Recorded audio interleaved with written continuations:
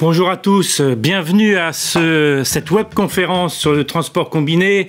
Euh, c'est un intermédiaire entre une émission de télé, une vraie conférence et puis, euh, et puis des questions que vous allez nous poser euh, directement sur l'application. Donc on va essayer de cumuler les avantages de tout ce qu'on a expérimenté de, depuis un, un, an maintenant, plus d'un an en matière de communication, d'interaction, d'échange. Et donc deux heures pendant lesquelles vous allez assister à des débats très j'espère très riche entre les, différents intervenants et puis poser donc toutes les questions euh, que vous jugerez euh, utiles euh, à, ces débats. Alors, le transport combiné, mythes et réalités, cette journée et cette demi-journée organisée par le GNTC avec le soutien de l'ADEME intervient alors qu'on parle de plus en plus de transport de marchandises euh, dans, un, dans, une acception générale, mais aussi de plus en plus de transport décarboné, de transport ferroviaire, de transport mixte, et donc de ce fameux transport combiné qui semble recueillir euh, beaucoup euh, de soutien un peu partout depuis maintenant que on, on, envisage le transport de marchandises sous ses différents aspects et notamment de ses atouts environnementaux.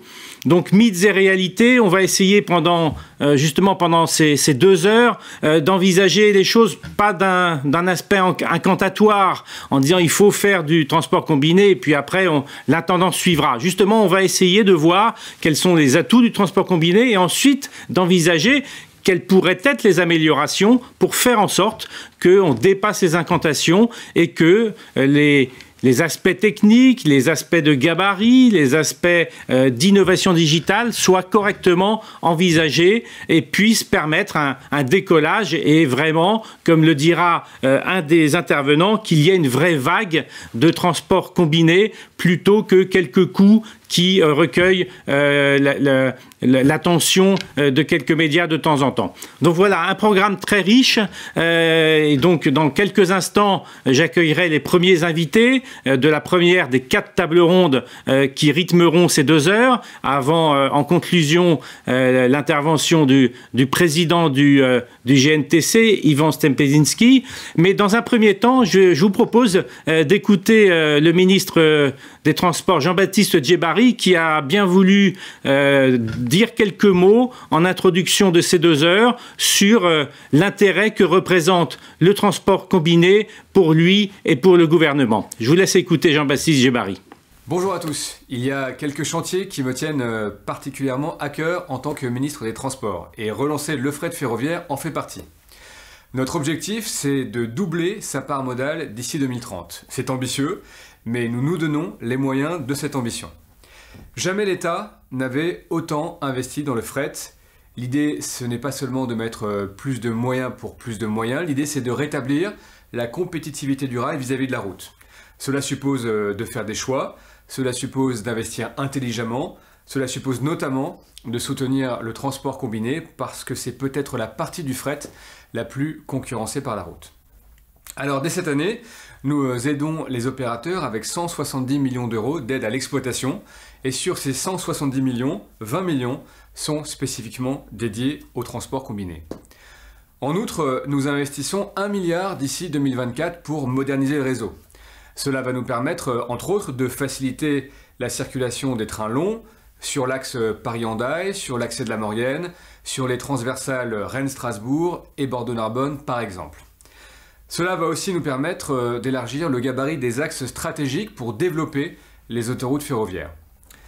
Les autoroutes ferroviaires, justement, nous allons euh, en ouvrir, en rouvrir au moins trois d'ici 2022. Ce sera Calais 7, Cherbourg-Bayonne et le fameux axe Perpignan-Rungis. J'en viens à un sujet qui, euh, je le sais, est important pour vous, les accords cadres. Je sais les difficultés de vos entreprises à en conclure de nouveaux. Je sais combien ils sont essentiels pour vous. J'ai donc demandé à SNCF Réseau de revenir sur leurs décisions et de les relancer dès 2022. Toujours dans cette euh, idée d'améliorer la qualité de service de SNCF Réseau, j'ai obtenu des financements dédiés pour limiter au maximum l'impact des travaux sur la circulation du fret. Nous donnons à SNCF Réseau les moyens de reprogrammer les chantiers pour faciliter le passage de vos trains et c'est grâce au plan de relance. Voilà pour les chantiers de court terme. Pour le moyen euh, et le long terme, le chemin sera tracé très bientôt. C'est le sens de la stratégie nationale pour le fret ferroviaire qui est euh, en cours de finalisation. Et vous le voyez, le transport euh, combiné et plus largement le fret ferroviaire nous mobilise pleinement. Alors en retour, je compte aussi sur votre engagement pour répondre au projet d'autoroute ferroviaire, pour trouver des moyens de rendre le transport combiné toujours plus compétitif et pour innover tout simplement. Très bonne conférence à tous et à très bientôt.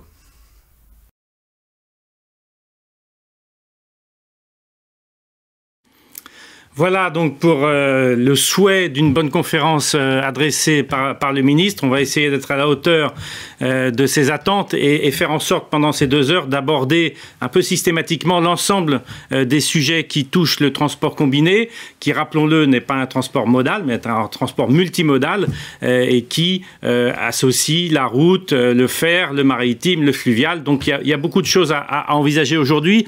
Et on va commencer par ce dont on parle de plus en plus, c'est euh, l'atout environnemental euh, du transport combiné avec une première table ronde qui va réunir euh, quatre intervenants. Merci à, vous quatre d'être avec nous aujourd'hui. Anne-Marie Drac, merci Madame la Ministre d'être avec nous. Vous dirigez, vous présidez France Logistique et vous pourrez nous dire dans quelques instants comment et pourquoi les logisticiens sont intéressés par le transport combiné, dans quelle mesure ce mode, enfin cette solution peut euh, leur apporter euh, des intérêts et compétitivité. Euh, merci d'être avec nous, Yann Tréméac. Vous êtes de l'ADEME, qui, je rappelle, est partenaire de cette matinée. Et vous nous direz comment l'ADEME voit le transport combiné sous son propre poste d'observation environnementale. Benoît Thirion, je crois que maintenant vous êtes bien, connu du domaine du fret. Vous êtes du cabinet Altermine qui a réalisé plusieurs études qui ont été extrêmement bien euh, euh, comment dire, euh, reprise par, par le milieu, car il montre notamment beaucoup d'intérêt pour la, la, performance environnementale du transport combiné. Vous allez nous en dire quelques mots dans quelques instants. Et puis Denis Schumer de la UTF. évidemment, la parole des chargeurs est très attendue parce que c'est eux qui sont vraiment décisionnaires en matière de, euh, choix euh, pour euh, leur, leur, transport. Et vous nous direz en quoi le transport combiné peut être autre chose qu'une qu'une solution ou des coûts, comme vous me le disiez encore il y a quelques jours au téléphone, être durablement une solution pour, pour vos, vos adhérents et les chargeurs en général. Benoît Thirion, donc euh, de la société Altermind, euh, vous avez la, capacité de résumer souvent très bien le, le, le, les atouts environnementaux du transport combiné. Est-ce que vous pourriez nous faire cet exercice pendant quelques minutes euh, aujourd'hui Atouts du transport combiné en matière environnementale. Bien sûr, merci beaucoup pour, euh, pour l'invitation. Euh, effectivement, je pense qu'il y a un intérêt à avoir quelques éléments de cadrage, peut-être sur les, externalités positives du transport combiné, et aussi sur les mesures qui permettent de les valoriser, parce que je pense que c'est un point important de, important de la discussion.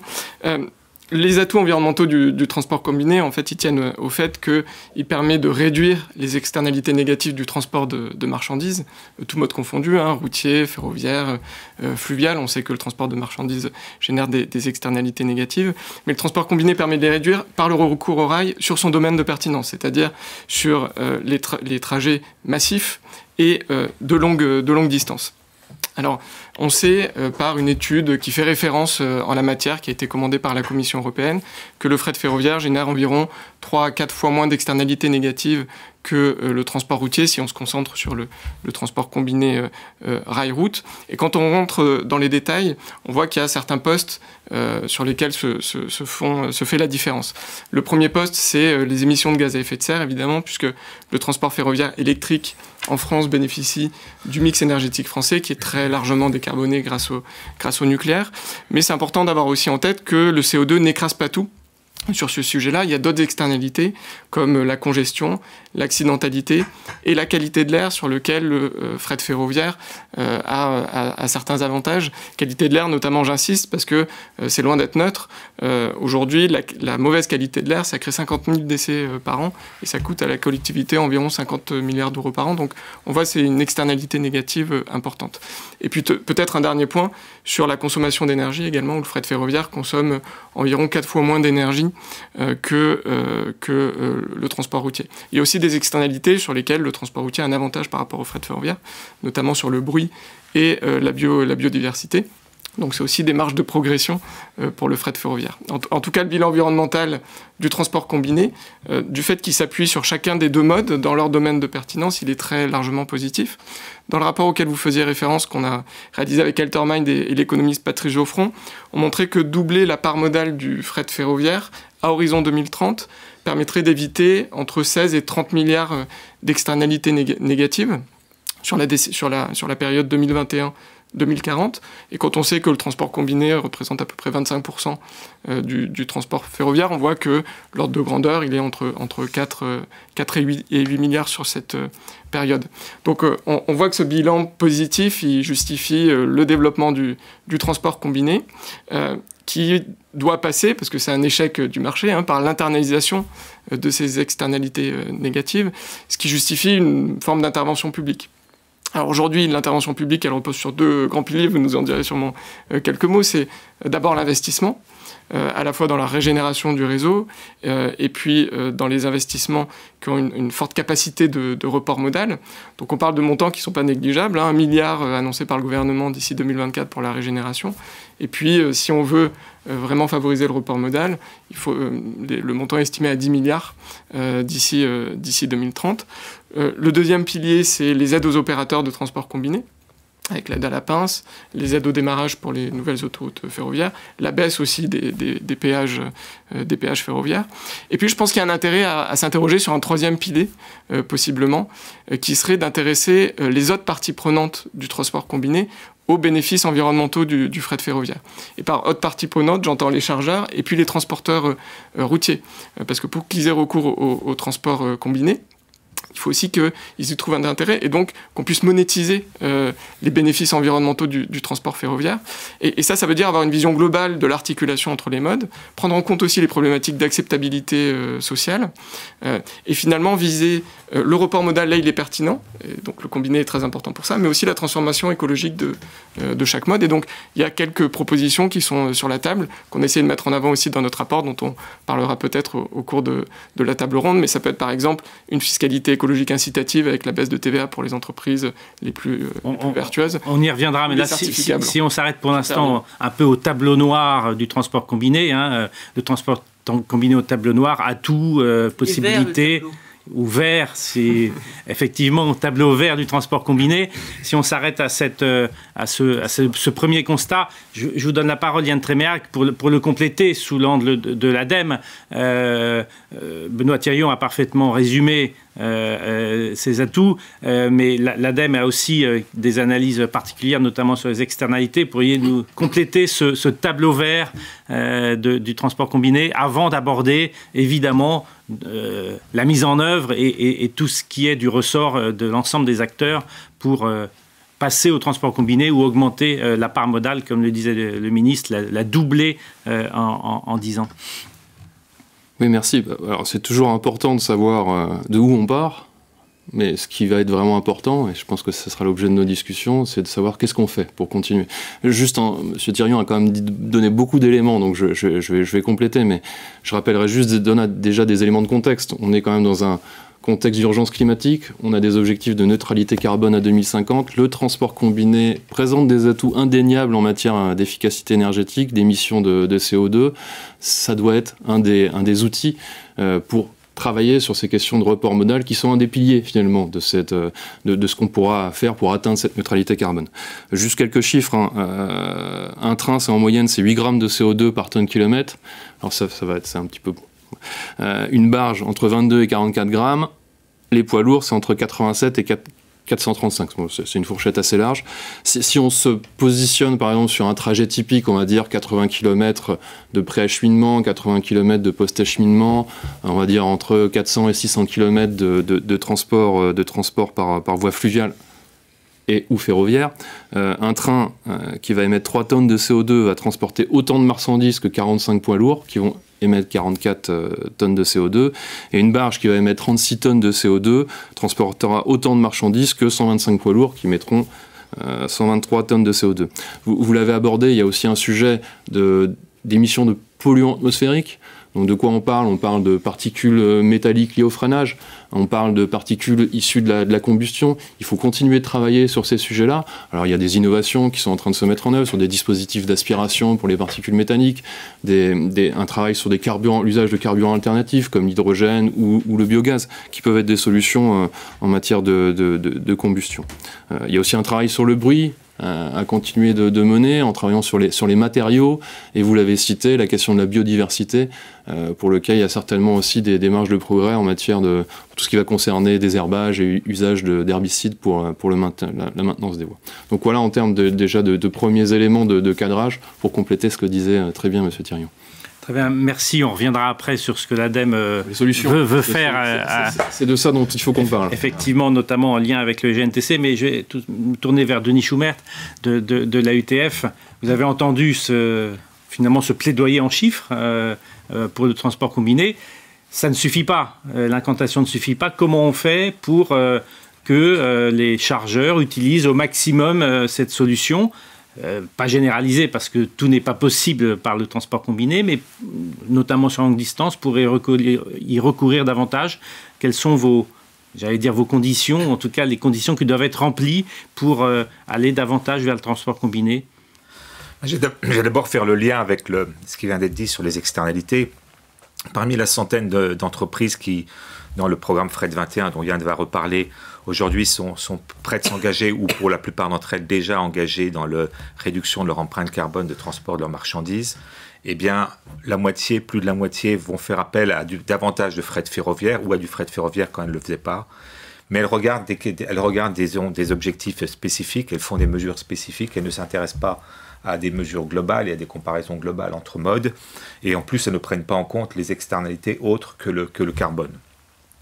Donc euh, le, sujet, c'est comment avoir un discours vis-à-vis de ces entreprises qui leur disent attention sur des stratégies de transport à moyen long terme, quels sont les bons choix et comment vous vous préparez pour ces bons choix. Peut-être que le combiné aujourd'hui c'est pas le bon choix parce qu'on va en parler au cours d'autres tables rondes. La performance n'est pas là, l'offre fluide, l'offre disponible comme elle l'est sur la route, comme elle est sur le maritime, accessible aux chargeurs n'est pas là aujourd'hui. Mais en plus, il n'y a pas la vision, je dirais, de l'intérêt national et de l'intérêt économique stratégique d'un secteur ou d'une entreprise. Donc ça, ça va changer. Et, j'en ai pour preuve le fait qu'aujourd'hui, dans beaucoup d'entreprises, tout le monde se dit, mais l'avenir, c'est bien sûr, c'est le camion que je suis bête, c'est le camion électrique, c'est le camion hydrogène. Camion hydrogène avec de l'hydrogène décarboné ou d'électricité décarbonée, ça va résoudre tous les problèmes.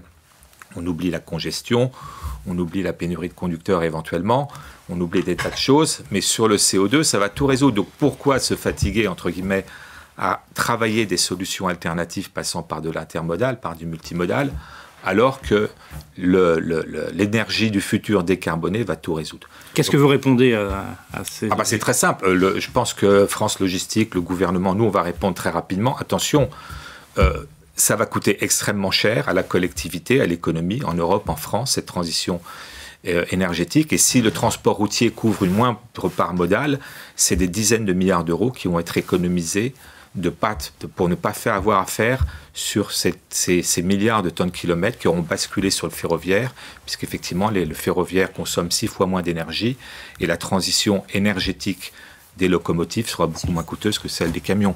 Donc c'est ça qu'il faut avoir en compte, ça c'est l'horizon futur, et dans cet horizon futur, comment le transport combiné doit le plus rapidement possible se mettre en ordre de bataille pour offrir une offre qui soit industrialisée et qui soit numérisée, accessible à des milliers d'acheteurs et non pas à quelques responsables logistiques d'entreprises qui se disent tiens, on va verdir notre empreinte carbone en faisant un peu de ferroviaire, on va s'inscrire dans Fred 21 ou dans un autre programme, on va mesurer, on va afficher dans notre rapport de développement durable des choses intéressantes.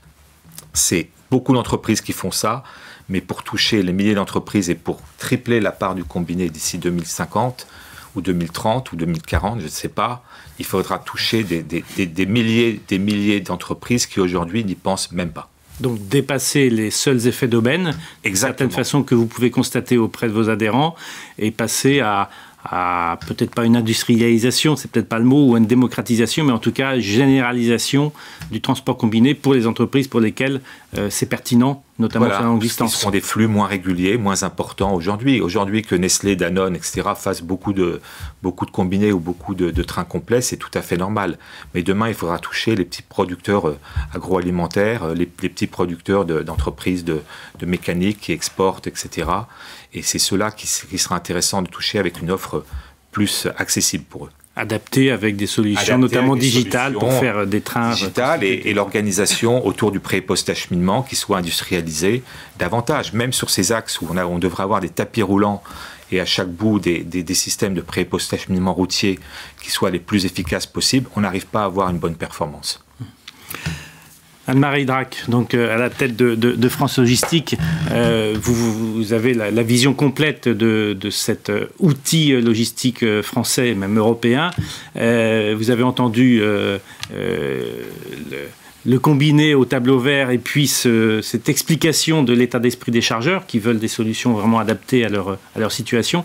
Quelle est votre propre appréciation à la fois de ces objectifs qui paraissent très important. Le ministre en, a rappelé un qui est assez spectaculaire, mais aussi de la réalité euh, du, du transport logistique euh, en France euh, aujourd'hui Peut-être peut pour commencer deux choses. la première, c'est que l'ensemble des professionnels de la logistique, donc les chargeurs, jusque, je dirais, aux plus petits sous-traitants transporteurs, tout le monde est engagé dans l'idée de la transition énergétique et, écologique. parce que c'est les besoins des clients, c'est les besoins des salariés, c'est un réflexe civique, ce sont aussi des prescriptions européennes ou françaises. Bon, donc, un très grand engagement. Deuxième point euh, général, euh, c'est qu'il n'y euh, a pas de remède miracle, il n'y a pas de solution magique, mais des ensembles de, solutions qu'il faut rendre les plus compétitives possibles, de manière à ce que ça puisse contribuer à la compétitivité ben, des chargeurs, de l'économie française, des territoires, etc. Et de ce point de vue-là, le transport combiné n'est en concurrence avec personne, hein, puisqu'il est complémentaire de tout le mode principal, c'est, et ça restera, la route. Et puis, il y a les modes massifiés dont nous souhaitons tous le développement. On peut trouver que c'est très très ambitieux, mais allons-y. Il hein. faut viser plus haut pour retomber moins bas. Euh, bon. Et euh, l'idée, c'est que euh, le transport combiné permet d'avoir un peu le meilleur de tous les mondes. Euh, le meilleur du mode dominant, qui est le routier, avec euh, sa flexibilité, euh, etc. Bon, et le meilleur des modes lourds, avec ben, les chiffres que vous avez donnés sur leur impact environnemental, mais aussi sur la décongestion, hein, qui devient de plus en plus un élément d'irriment pour la compétitivité de nos territoires et de l'économie française, indépendamment même des, des, des émissions. Bon. Donc voilà, c'est pour ça que moi, je suis très favorable au transport combiné parce que mes adhérents le sont. Vous savez, le principal client euh, du transport combiné ferroviaire, c'est le transport routier. Hein. donc c'est pour ça que je, dis que loin d'être concurrents, ils sont, complémentaires et que là, on peut vraiment parler d'intermodalité, pas simplement dans des colloques, mais dans la réalité euh, de ce qui se passe sur le, sur le terrain. Alors ensuite, comme le disait euh, Denis, mais comme vont le dire les autres tables rondes, j'imagine, tout ça, il n'y a pas de solution magique, euh, et en particulier, il n'y a pas de solution inventée euh, autrement que par euh, le marché, fut-il aidé, soutenu, etc. Donc le sujet, c'est la satisfaction des clients. Il n'y a pas d'autre sujet. Et d'ailleurs, c'est ce qui... il en est de même pour l'ensemble de cet objectif de, doublement du fret ferroviaire. J'en parle souvent avec 4F, j'en parle souvent avec, en particulier, la SNCF, Frédéric Delorme.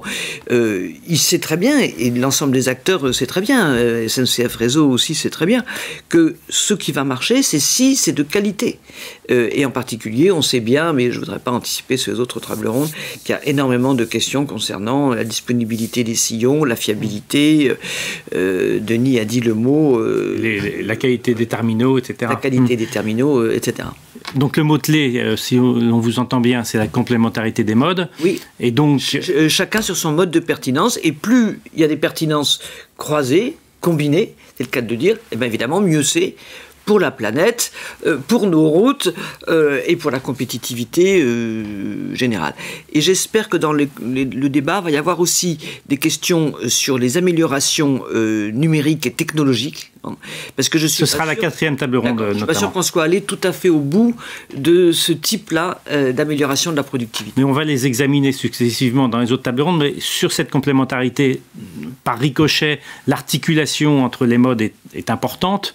et donc, forcément, il y a, comme le disait Yann Tréméac, il y a, il y a un appel du, public aussi. Donc cette articulation entre la force du privé, sa force d'innovation, de mise en œuvre, et quelle est la maître d'œuvre euh, générale de, de, ces solutions, mais aussi euh, le, public, puisque notamment en matière ferroviaire, en matière d'infrastructure, il est le pilote euh, essentiel.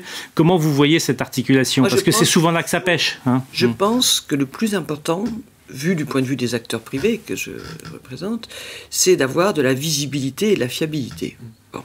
Parce qu'aujourd'hui, je comprends que, par exemple, les investissements qui sont prévus, que le ministre a évoqués, ben, les études ne sont même pas encore commencées.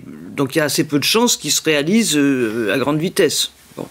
Euh, les allègements euh, sur euh, les péages et en contrepartie de, l'articulation avec les travaux, bon, j'ai pas l'impression que ça soit prolongé au-delà de cette année ou au mieux de l'année prochaine. Donc je pense que vraiment pour les professionnels, que ce soit les professionnels du transport, de la logistique, les chargeurs, pour qui ça suppose quand même des réorganisations des investissements de leur côté, puis des, des chaînes logistiques, ça ne se réorganise pas en claquant des doigts. Donc c'est très très important euh, d'avoir euh, une visibilité. Et dans le dialogue que nous avons avec, euh, avec le gouvernement, France Logistique, et Denis qui est mon vice-président le sait bien, c'est là-dessus que nous souhaitons insister, que ça soit visible, qu'il n'y ait pas des allers-retours, et que quand on annonce des choses, eh bien, on en voit assez vite la mise, la mise en œuvre. Je pense que c'est cette articulation qui est importante pour sécuriser les privés et pour sécuriser euh, euh, leurs investissements avec des échéances. Parce que vous voyez, par exemple, euh, Denis parlait des camions hydrogène, bon, on est sur 2050. Bon. Or là, nous espérons voir se développer des formes de plus en plus écologiques de, de, fret, y compris donc le segment ferroviaire ou, fluvial. on ne va pas attendre qu'il y ait quelques camions en 2050 à hydrogène. Bon. Donc, euh, visibilité avec des étapes, franchement, c'est cela qui permettra de combiner les initiatives. Ça fait de très nombreux colloques euh, et conférences que euh, l'ensemble des acteurs demandent cette visibilité. Elle a du mal à arriver. On voit encore récemment avec cette question de la gratuité des péages qui est, mm, qui est, un peu euh, qui est sur la table, une promesse qui est à moitié, à moitié tenue. Qu'est-ce qu'il faudrait, là je m'adresse à, vous, quels sont les éléments euh, qui pourraient inciter euh, les pouvoirs publics à, inscrire de façon durable et, très précise un certain nombre d'engagements de nature à ce que les, les, acteurs privés, hein, les, les, chargeurs, vos adhérents puissent avoir confiance et se disent comme vous me dites au téléphone, ça va pas être un coup, ça va pas être un one shot, on va pas ah. avoir des investissements qui vont être euh, dans quelques temps euh, réduits à néant parce qu'il y aura un gouvernement qui sera revenu sur euh, des engagements précédents. Qu'est-ce qu'il faudrait? Est-ce que c'est un New Deal? Je ne sais pas. Je vais vous dire juste un mot, si vous permettez. C'est que les lois ne font pas tout.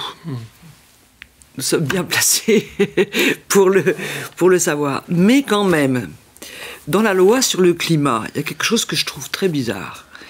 Il y a une date pour taxer les camions. Il n'y a pas de date pour développer le fret ferroviaire. Sachant que taxer les camions, c'est pas ça qui va euh, euh, les verdir. Hein. Euh, mais ça serait un autre débat.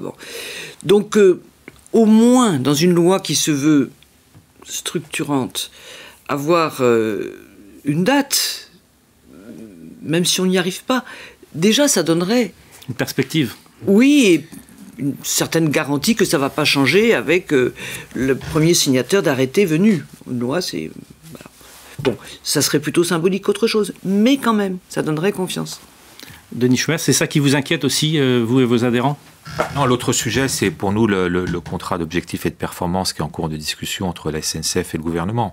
Il est vrai que la, crise Covid a aggravé la situation financière de la SNCF et que du coup, on se retrouve dans un, COP, un, projet de COP dont l'orientation principale, c'est la baisse de la dette ou la, non-aggravation de la dette de la SNCF, notamment de SNCF Réseau. Donc on est à nouveau dans la situation où on était il y a 10 ans et où on a été obligé de contraindre les investissements, notamment pour aider le fret ferroviaire. Donc si on repart dans cette situation-là, jamais on pourra décoller, jamais l'avion ne pourra décoller. Donc effectivement, il faut une visibilité à 10 ans et des engagements de l'État sur une programmation d'investissement, les fameux 10 milliards, et ensuite qu'on sache qu'à quel moment on aura les études en main pour prévoir que c'est plutôt telle voie qu'il faut euh, moderniser, euh, créer un nouveau terminal combiné à tel endroit et pas à tel endroit, etc. Là, il faudra effectivement 2-3 ans. Mais si dans 2-3 ans qu'on a fait ces études, l'engagement financier de l'État n'est plus là, elles n'auront servi à rien et on restera sur le tarmac. Yann Tréméac, euh, vous aviez quelques idées pour avancer sur cette, euh, d'une certaine façon, une contractualisation entre les acteurs privés le public? Enfin, juste pour mettre un peu en perspective, euh, la loi ne fait pas tout, vous l'avez dit. Elle est, structurante, les investissements sont structurants. Je pense qu'il y, a trois axes de travail pour, pour agir, pour continuer d'agir. Un axe de maîtrise, comment on va maîtriser nos, transports au niveau de la, société. Euh, là, on va par exemple parler de circuits courts, comment on va parler de relocalisation industrielle, c'est quand même un sujet en ce moment. Il y a un second axe qui est en tant que tel le report modal, comment on va reporter euh, des trafics sur d'autres euh, vecteurs plus favorables, on va dire, euh, plus vertueux en matière, en matière environnementale. et enfin, un dernier axe qui est un axe dont on parlait, c'est-à-dire l'axe d'amélioration technologique, qui fait pas tout, donc c'est le troisième hein, dans, ce que je dis, où on va travailler justement sur les carburants alternatifs, sur l'hydrogène. Et, pas seulement. Je pense qu'il faut vraiment avoir en tête que n'y a pas un carburant alternatif qui répondra à toutes les solutions, on le sait, il y aura des solutions qui seront à mettre en face des usages. Euh, d'ailleurs, je viens juste de, reciter quelque part la stratégie transport et mobilité de l'ADEME, donc ça m'a permis de, la citer, qui est vraiment organisée autour de ces, trois piliers. Euh, dans ce cadre-là, on, travaille sur deux sujets. On a déjà mis en œuvre avec le, GNTC euh, une convention qui s'organise autour de quatre axes. Donc très rapidement, un premier axe qui est l'observation. C'est fondamental de savoir de quoi on parle, où on est, quelle, est l'offre. On parlait d'industrialisation de ces offres, c'est fondamental, mais où on est. Donc il y a un premier travail à mener sur la création d'un observatoire, sur comment on va, comment savoir d'où on part. Un deuxième axe, c'est la promotion aussi du transport combiné. Peut-être un, déficit de promotion, de communication aussi sur le, sur le, sur le transport combiné. Ensuite, c'est aussi euh, lancer des études, savoir par exemple comment euh, étudier cette faisabilité de lancer des dispositifs de financement, d'accompagnement de la création de nouvelles lignes. Donc ça, c'est un, troisième sujet. Et enfin, un dernier sujet, il ne faut pas l'oublier, c'est l'innovation. L'innovation, c'est demain. C'est comment on prépare le demain. Il y a quand même beaucoup de travaux d'innovation encore à mener, notamment au niveau de la rupture de charge. Euh, qui, est quand même le, cœur finalement du modèle économique aussi euh, du, transport combiné. Donc comment on va accompagner, que ce soit au travers d'appels à projets de l'ADEME ou d'appels à projets plus global, comme le, PIA4 euh, pourra, le programme d'investissement d'avenir pourra aussi se positionner. Et enfin, et d'ailleurs sur ce sujet, euh, l'ADEME a lancé, et c'est un, appel au peuple hein, que, je, lance, je me permets de lancer, euh, l'année dernière un appel à projet Translog qui était ouvert au transport combiné, pour lequel on a eu assez peu finalement de projets d'innovation de la filière. Donc je pense qu'il est aussi important que la filière s'organise, se structure pour pouvoir déposer des dossiers d'innovation et des projets d'innovation euh, structurants. Et enfin, un dernier point, euh, puisque Denis en parlait, euh, on travaille avec l'ensemble des, euh, acteurs du, transport, chargeurs, commissionnaires, transporteurs, au développement d'un programme, le programme EVE, qui vise justement à accompagner la filière. La filière fait des choses, vous l'avez dit, c'est très juste. Pour objectiver les, les, gains environnementaux. Alors c'est non seulement objectiver les gains environnementaux, mais c'est surtout accompagner les acteurs pour qu'ils mettent en œuvre au sein de leurs organisations des démarches d'amélioration de leur performance environnementale. Donc c'est juste un cadre qui va, je dirais, structurer les dynamiques que peuvent lancer les acteurs, puisqu'ils font des choses. Alors il va faire encore plus, plus vite, puisque l'urgence climatique est là. Mais voilà, le programme c'est un outil pour ça, pour accompagner et structurer la, filière autour de cette démarche d'amélioration de performance environnementale. Et notamment Fred 21, dont parlait euh, Denis, qui est l'outil pour les chargeurs, qui est piloté notamment par la l'AITF. Benoît Thérion, quelques suggestions? Oui, je crois qu'il faut une vraie prise de conscience, et c'est ce qu'on peut retenir de l'intervention de Denis Schumer et d'Anne-Marie Drake, sur le fait que Aujourd'hui, tous les transports vont devoir être décarbonés. Aujourd'hui, ça pèse 30% des, émissions de, gaz à effet de serre. Il faut devenir neutre en, carbone à horizon 2050. L'intérêt, et donc la route doit être décarbonée, et le report modal a de l'intérêt parce que le fret ferroviaire, comme vous le disiez, il est quelque part, c'est une solution qui, moyennant quelques conditions qui sont importantes, hein, mais qui sont à apporter euh, est immédiatement disponible et qui est certainement moins cher que la, la, décarbonation de la route, même si encore une fois il faut, le, il, faut la faire, mais on peut en alléger le, le, coût. Et quand on a cette prise de conscience-là, qui doit être une prise de conscience des pouvoirs publics, et qui est déjà celle des clients, donc euh, on voit bien qu'il faut, qu'il faut, qu'il faut avancer, il faut tout de suite se lancer dans une logique d'amorçage, c'est-à-dire qu'il y a eu beaucoup d'annonces, euh, notamment en termes de travaux, vous le disiez, il faut lancer les premiers projets. Euh, et l'État euh, va prendre, sur le milliard qui a été annoncé, l'État doit prendre en charge 500 millions. Euh, on n'est pas obligé d'attendre d'avoir des financements européens, même s'il faut aller les chercher, ou des financements locaux, pour commencer à dire, ben voilà, les premiers projets qu'on va mettre en œuvre, dont on fait les études, et on commence le plus vite possible, parce que 2030, euh, ça, vient, ça vient très vite. Euh, et, les travaux, il faut les faire, il faut les faire euh, dès maintenant. Et puis le point de la visibilité, il est aussi extrêmement important. C'est-à-dire que beaucoup de contrats sont pluriannuels. Si on est sur un an seulement, les acteurs ne savent pas comment se, comment se, positionner, comment s'engager. Quelque part, l'effet sera, sera extrêmement limité. Donc, je crois vraiment qu'il faut avoir amorçage, visibilité, et puis éventuellement euh, extension pour que toutes les parties prenantes soient intéressées euh, à développer, le, transport combiné. Et c'est là où peut y avoir des solutions aussi euh, en parallèle de l'accompagnement qui est fait dans le cadre des stratégies carbone de, toutes les entreprises, d'avoir quelques outils qui incite quelque part à aller plus loin. On l'a fait sur, les économies d'énergie, avec les certificats d'économie euh, d'énergie. Nous, il y a une proposition qu'on avait mise euh, sur la table dans le rapport qu'on a, réalisé avec Altermind et, Patrice Geoffron, c'était celle de certificats blancs, euh, d'avoir le pendant des certificats d'économie d'énergie pour les émissions de, gaz à effet de serre, de façon à inciter les acteurs à mettre en œuvre des actions qui, réduisent leurs émissions. Il y a le label bar carbone aujourd'hui qui existe, qui est un peu l'embryon de ce type de, de, de ce dispositif. Et voilà, je ne sais pas si les acteurs sont des outils qu'ils attendent aussi pour, pour être, incités à aller dans cette direction, mais c'est intéressant d'y réfléchir en tout cas. bientôt le label Fred 21. Je... Euh, manifestement, ce, débat intéresse euh, ceux qui nous regardent. Deux, questions euh, sélectionnées. Pourriez-vous nous donner un rapport de comparaison CO2 entre multimodal rail et 100% route? Est-ce que, ce, est que ça existe, cette comparaison Ça dépend des segments. Oui, bien sûr. Difficile de donner une évaluation ça globale. des distances, de près et de post-acheminement, ça va dépendre des distances sur le transport massifié. Voilà, J'ai donné quelques chiffres en introduction, mais en fait, ça va vraiment dépendre des conditions d'usage, finalement. Mhm. Euh, qui sont mises en œuvre. Donc, euh, on peut avoir quelques ordres de grandeur. Euh, comme je disais tout à l'heure, on, a calculé, nous, le doublement du fret ferroviaire. voilà, c'est un éclairage macroéconomique, ça donne un ordre de grandeur. On disait, en fonction de différents scénarios et de la façon dont on valorise la tonne de CO2 évitée aussi, on arrivait entre 16 et 30 milliards sur la période 2021-2040. Euh, le transport combiné, c'est à peu près 25% de ça. Euh, un autre ordre de grandeur, c'est le fait que euh, la distance moyenne entre deux terminaux, c'est autour de 800 km, mm. je crois. Donc voilà, ça permet, ça permet d'avoir des ordres de grandeur. Mais effectivement, il faut ensuite regarder projet par projet, en fonction des distances de pré et de post-acheminement, et puis de la distance faite par le. Par il y a un élément positif qu'il faudrait souligner, parce que je, en fait, je crois que malgré les difficultés, on est vraiment sur un segment d'avenir. Hein. Euh, bon, euh, ça va plus ou moins cas à cas. Bon. Euh, c'est que nous avons en France des bons opérateurs. et je, voudrais souligner ça parce que on a dit c'est sur des grandes distances le transport combiné. Or sur les grandes distances, ce sont des camions internationaux. Hein. donc en très très grande majorité, ce qui au, au passage va rendre assez difficile l'application des cotaxes régionales passant. Euh, mais donc euh, sur le segment euh, transport, enfin la, partie donc de l'intermodalité mmh. stricto sensu, on a des très bons opérateurs français et qui sont capables, enfin, réunis dans le GNTC d'ailleurs, bon, qui sont capables d'innover. Et je pense que c'est un élément dans la compétitivité générale du pays qui peut et doit être pris en considération.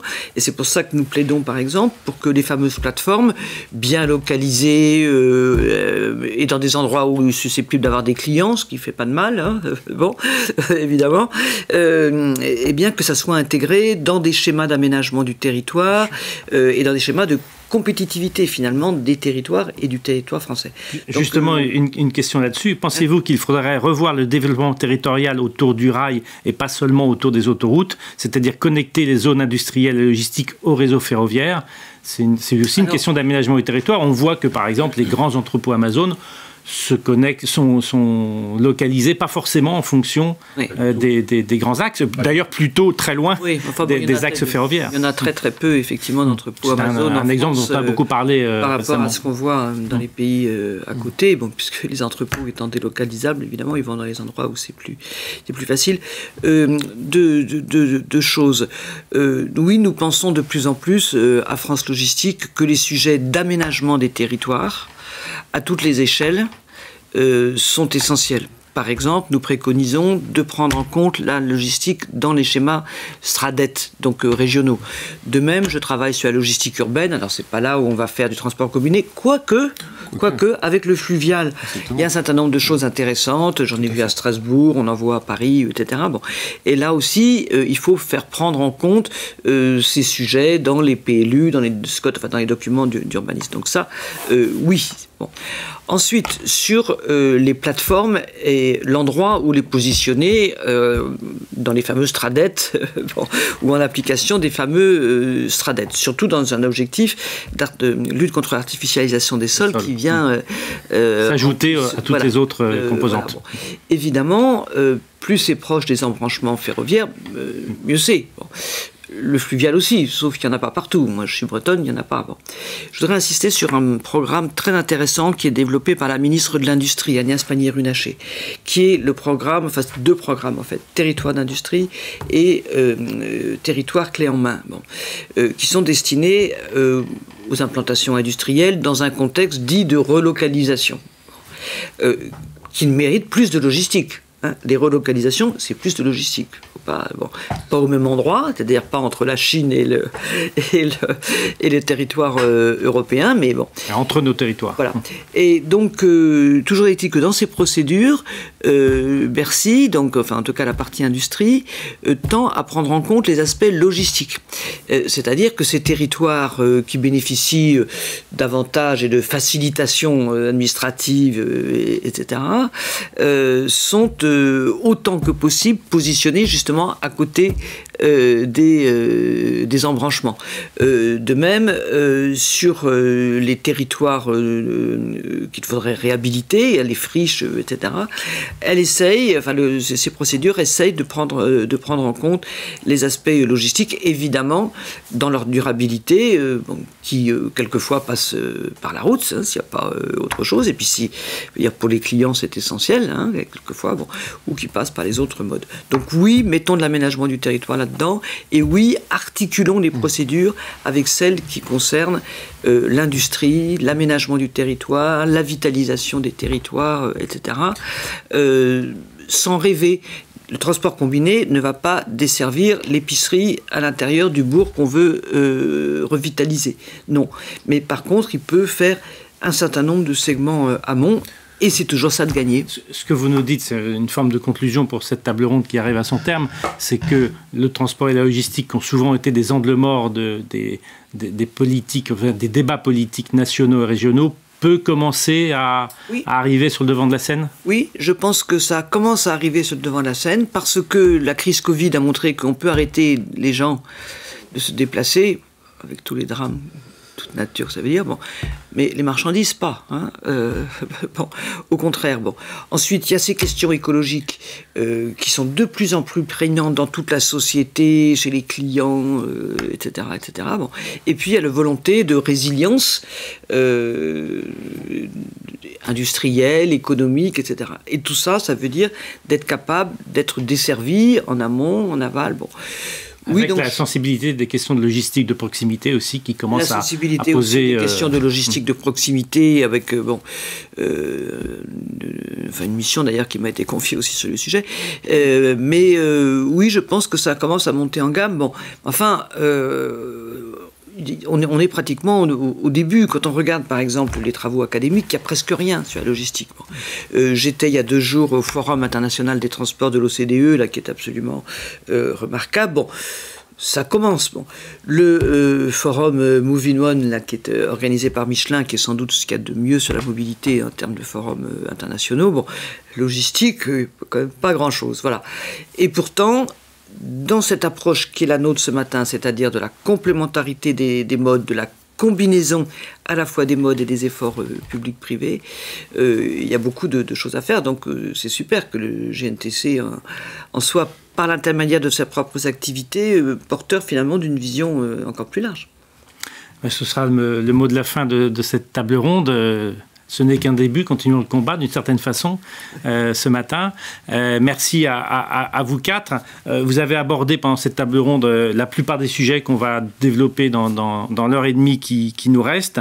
Évidemment, le fonctionnement opérationnel du transport combiné avec la question majeure des terminaux qui, sera au centre de la prochaine table ronde. La question du réseau européen, on n'en a pas beaucoup parlé, mais tout ça est aussi, notamment sur longue distance, s'inscrit dans une dynamique européenne voire davantage en liaison avec le maritime. Et puis, euh, on terminera par euh, euh, la question de, l'innovation sur laquelle vous aviez insisté tout à l'heure aussi, des gabarits, etc. Donc, un programme très riche. Merci à vous quatre et rendez-vous dans quelques instants pour la deuxième table ronde. Mais d'ici là, une petite vidéo sur le transport combiné.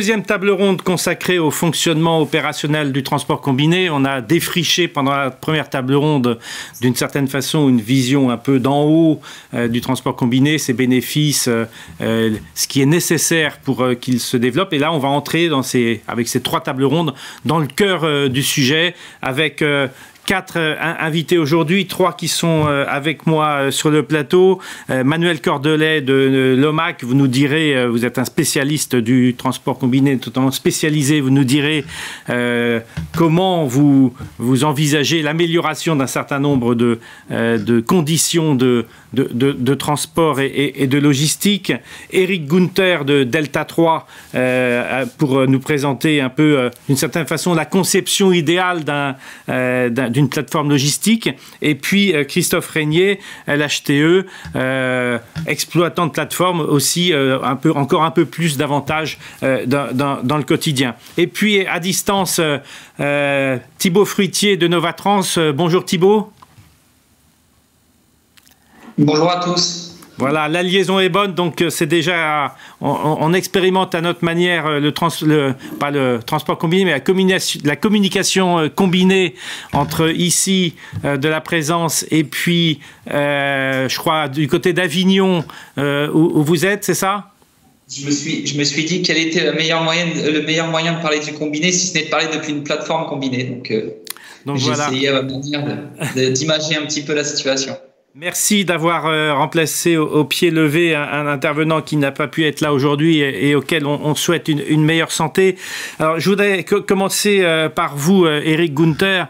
on a, le terminal est un élément essentiel du transport combiné parce que c'est l'interface entre, entre les modes routier, ferroviaire et aussi fluvial.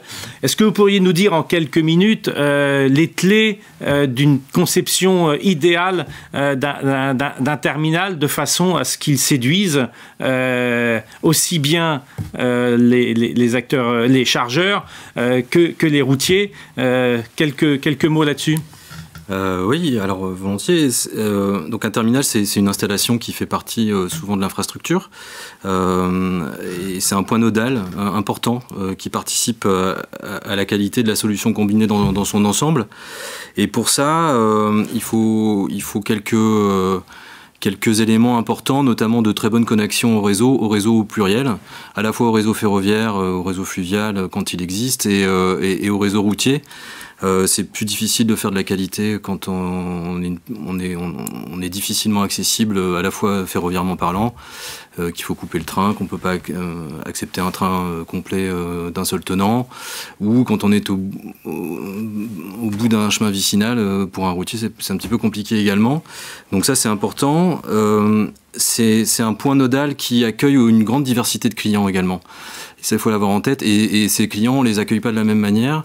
Euh, euh, sont les opérateurs de transport combiné, les, clients de, rang 1 évidemment, euh, leurs fournisseurs, les entreprises ferroviaires qui, tractent les, trains, évidemment les, transporteurs routiers qui viennent sur le site et qui doivent être bien accueillis également. Ça, veut dire quoi bien accueillis pour les ben, routiers? Ça veut dire préparer, enfin évidemment que l'accueil. Euh, on, a des chauffeurs routiers qui viennent plusieurs fois par jour sur un terminal, par exemple. Euh, et puis d'autres qui viennent de manière épisodique, ponctuellement. Aujourd'hui, nous, on sait par exemple, sur, sur, sur, la plateforme, c'est des points d'amélioration qu'il faut qu'on apporte. Euh, par exemple, s'inspirer de, ce qu'on voit dans d'autres infrastructures portuaires, euh, euh, différencier les flux, les régulier, les, traiter plus, plus, rapidement. donc c'est une, forme d'infrastructure, c'est des guérites supplémentaires, c'est de la reconnaissance de plaques minéralogiques, ça, peut être de la prise de rendez-vous en ligne, des choses comme ça. Des, outils qu'on vient apporter à l'exploitant pour qu'il travaille mieux et, plus vite et que les ses clients à, lui euh, soient contents de venir sur le terminal. Donc ça c'est important. De même que la connexion ferroviaire doit être euh, de bonne qualité, euh, que le, prestataire qui tracte le train n'ait pas à faire trop de manœuvres pour entrer dans le terminal, qu'il puisse facilement dégager sa locomotive de ligne pour ensuite repartir, trouver sur place des services connexes au transport comme de la maintenance légère ou, plus, importante, à la fois pour les locomotives, pour les poids lourds, euh, éventuellement de la réparation de conteneurs, éventuellement de la préparation alimentaire. Enfin voilà, tout un de, ces conteneurs pour l'industrie euh, euh, agroalimentaire.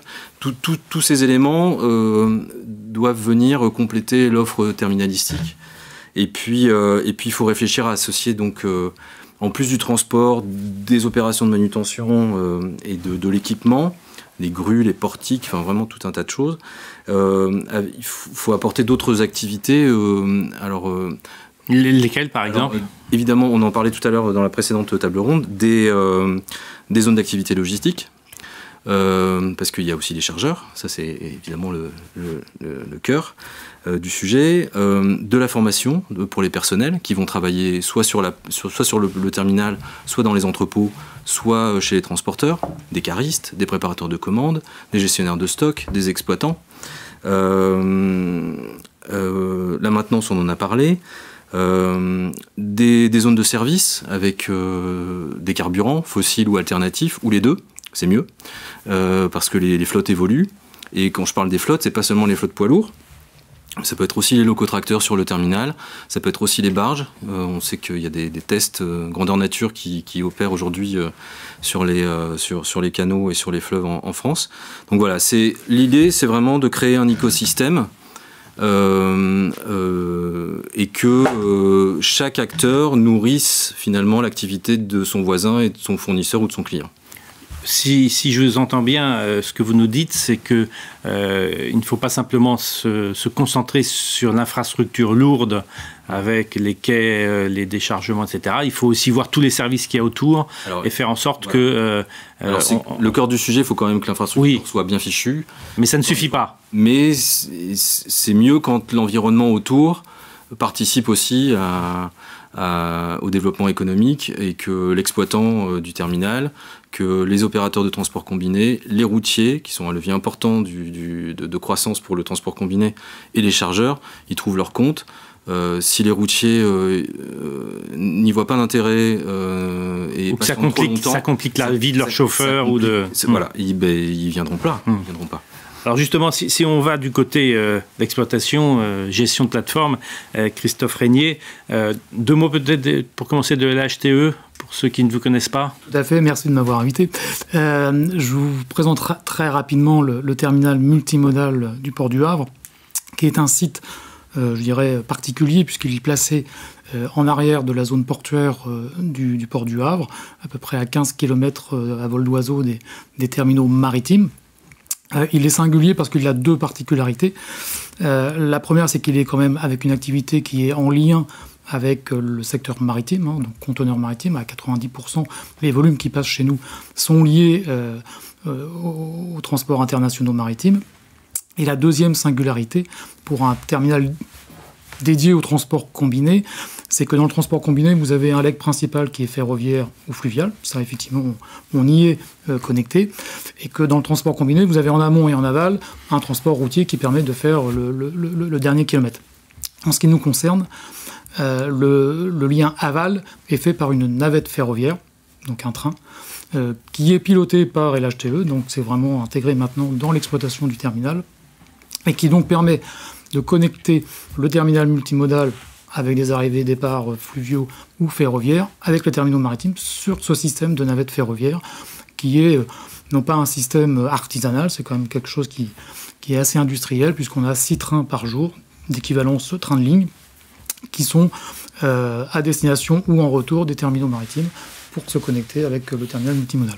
Donc vous avez beaucoup d'interfaces, beaucoup d'échanges hein, entre, entre les, différents points. Euh, qu'est-ce qui vous semble essentiel pour que ça fonctionne bien, euh, pour que les interfaces soient les, les plus efficaces, les plus fluides possibles? Alors très clairement, ce qui a déjà été aussi exprimé dans la, dans la première réunion, le, le point, le point essentiel qu'on doit essayer de faire oublier, c'est la rupture de charge. Euh, aujourd'hui, pour un chargeur ou un importateur, passer par un système de transport combiné, ça veut dire qu'il y a des ruptures de charge, des manutentions. Et donc il y a deux aspects dans ces cas-là.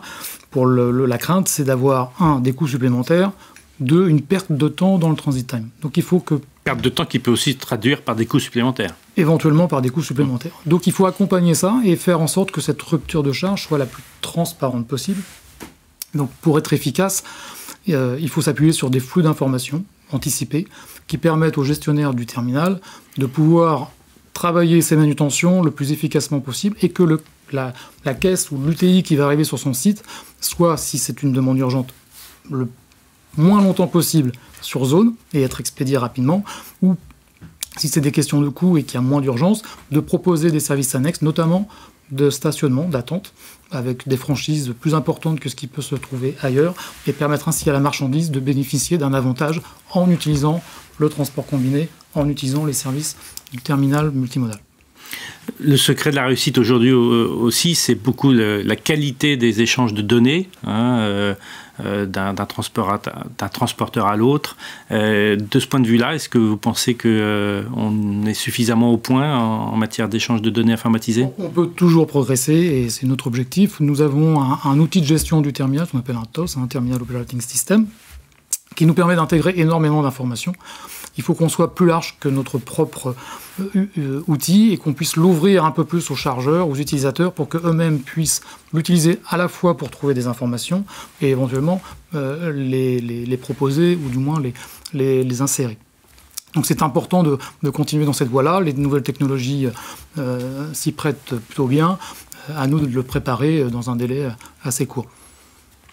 Euh, une question, puisque c'est sur les terminaux, tout de suite j'interromps un peu notre débat. Est-ce que la question de la création de nouveaux terminaux ferroviaires de proximité privés est envisagée à votre euh, connaissance? Est-ce que euh, il y a des, créations, on a beaucoup parlé de Delta 3 il y a de nombreuses années. Est-ce qu'il y a des créations qui sont envisagées aujourd'hui? On évoquait la possibilité à Cannes-Marie Drac qu'il y ait une politique d'aménagement du territoire qui permette peut-être de telles créations? Avec la création du canal Seine-Nord-Europe, euh, il y a quatre ports intérieurs qui sont envisagés déjà. Euh, donc ces ports seront à minima bimodaux, donc fleuve et route, et pour certains d'entre eux, ils seront trimodaux, donc ils seront raccordés au fer. donc d'ici 2028, normalement, il y a au moins quatre nouveaux terminaux dans la région Hauts-de-France qui seront créés. Euh, je connais mal des autres régions, donc je voudrais pas m'avancer de, trop, mais euh, voilà.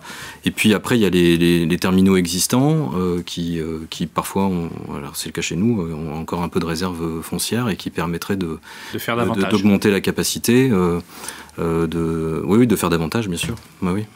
En tout cas, c'est un point essentiel. Effectivement, on constate qu'il y a un manque de maillage avec des terminaux multimodaux de petite ou de grande taille qui permettrait de fédérer des volumes supplémentaires.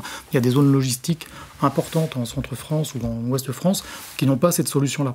Donc très clairement, si ça pouvait se développer, si des projets peuvent se présenter, euh, en bout de chaîne, on serait très heureux de voir ces volumes arriver également.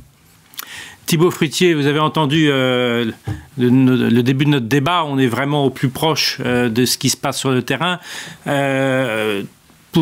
si on regarde les choses du côté de Novatrans, euh, quelles seraient vos préconisations, en tout cas vos recommandations pour euh, améliorer euh, la fluidité du transport combiné et donc sa performance Vaste sujet, je vais essayer de faire aussi efficace que possible, mais sur la première table ronde, on parlait d'une nécessité de performance et notamment pour les, pour les chargeurs et je pense qu'on doit revenir à la base de ce qu'est le transport combiné. Qu'est-ce que le compte transport combiné? On parle de, sillon, on parle de traction ferroviaire, on parle de manutention. Et je pense qu'aujourd'hui, on a, avant de parler de grand développement, de nouveaux maillages complémentaires, il faut peut-être revenir aux fondamentaux et de là où on peut améliorer notre, notre performance collectivement, parce que ça ne passera que par le collectif.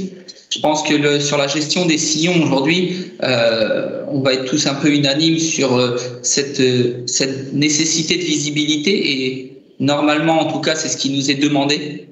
On nous demande de commander nos sillons deux ans en avance, avec aujourd'hui malheureusement une certaine précarité sur les retours qu'on peut nous donner. C'est-à-dire qu'on nous demande de l'anticipation alors que notre le, le, mode alternatif qui est le routier est assez réactif. Euh, et, lorsque nous demandons des adaptations de dernière minute, on n'est pas garanti d'avoir une certaine performance. On a cette nécessité d'être un peu plus flexible dans, dans, cette, dans, le, dans les demandes sillons, dans les retours qu'on peut nous donner, mais aussi nous donner la capacité d'être un peu plus réactif vis-à-vis du marché et du terrain. Je, je, je rejoins, je ne peux que rejoindre ce qui a été dit à la première table ronde, c'est-à-dire on a, on a l'impression qu'on manque de dynamisme parfois dans notre métier, mais on, fait face à de nombreuses contraintes sur cet aspect-là et la volonté est forte, les demandes de développement sont importantes. Euh, vous parliez tout à l'heure de, de, de, la, de, gabarit, ça va être un, ce sera un sujet qui sera abordé sur une des tables, mais je pense qu'aujourd'hui, Novatrans, Green Modal, le, le groupe qui nous préside aujourd'hui, c'est ce qu'on essaye de prôner, c'est la multimodalité, c'est le mélange des différents types d'unités de transport intermodal, puisqu'aujourd'hui on pense que tout est envisageable, la caisse mobile, le conteneur, la citerne, mais aussi la remorque P400, c'est quelque chose sur lequel on avance beaucoup. Donc on a sur ce premier palier euh, avec l'infrastructure un véritable besoin de travailler sur nos besoins, comment faire en sorte d'aller plus vite et de mieux faire, parce que malheureusement, ces les retours aujourd'hui sur les, on va dire, les, les corridors historiques, hein, si je prends la partie sud-est, la partie sud-ouest, euh, vers le nord et la région parisienne. Aujourd'hui, on fait face à de nombreux travaux et je suis très content d'entendre le ministre parler de donner la capacité, à SNCF Réseau de s'adapter euh, et, de, moduler les travaux pour nous permettre de mieux circuler. Mais aujourd'hui, c'est encore, insuffisant en tout cas et il est nécessaire pour nous de le marteler parce que on connaît les impératifs de nos clients et on souhaite les accompagner. Pour parler des terminaux, maintenant, si c'est un, un, autre sujet, on a aujourd'hui euh, des terminaux qui ont des capacités, je rejoins ce que disait Eric Gunther juste, avant, des capacités foncières euh, qui existent, de la capacité pour encore accroître les volumétries sur ces plateformes qui nécessitent un minimum de, volume pour atteindre un niveau économique euh, intéressant. Malheureusement, aujourd'hui, on, on, voit que ces plateformes qui sont généralement assez bien placées au niveau ferroviaire euh, manquent d'investissement.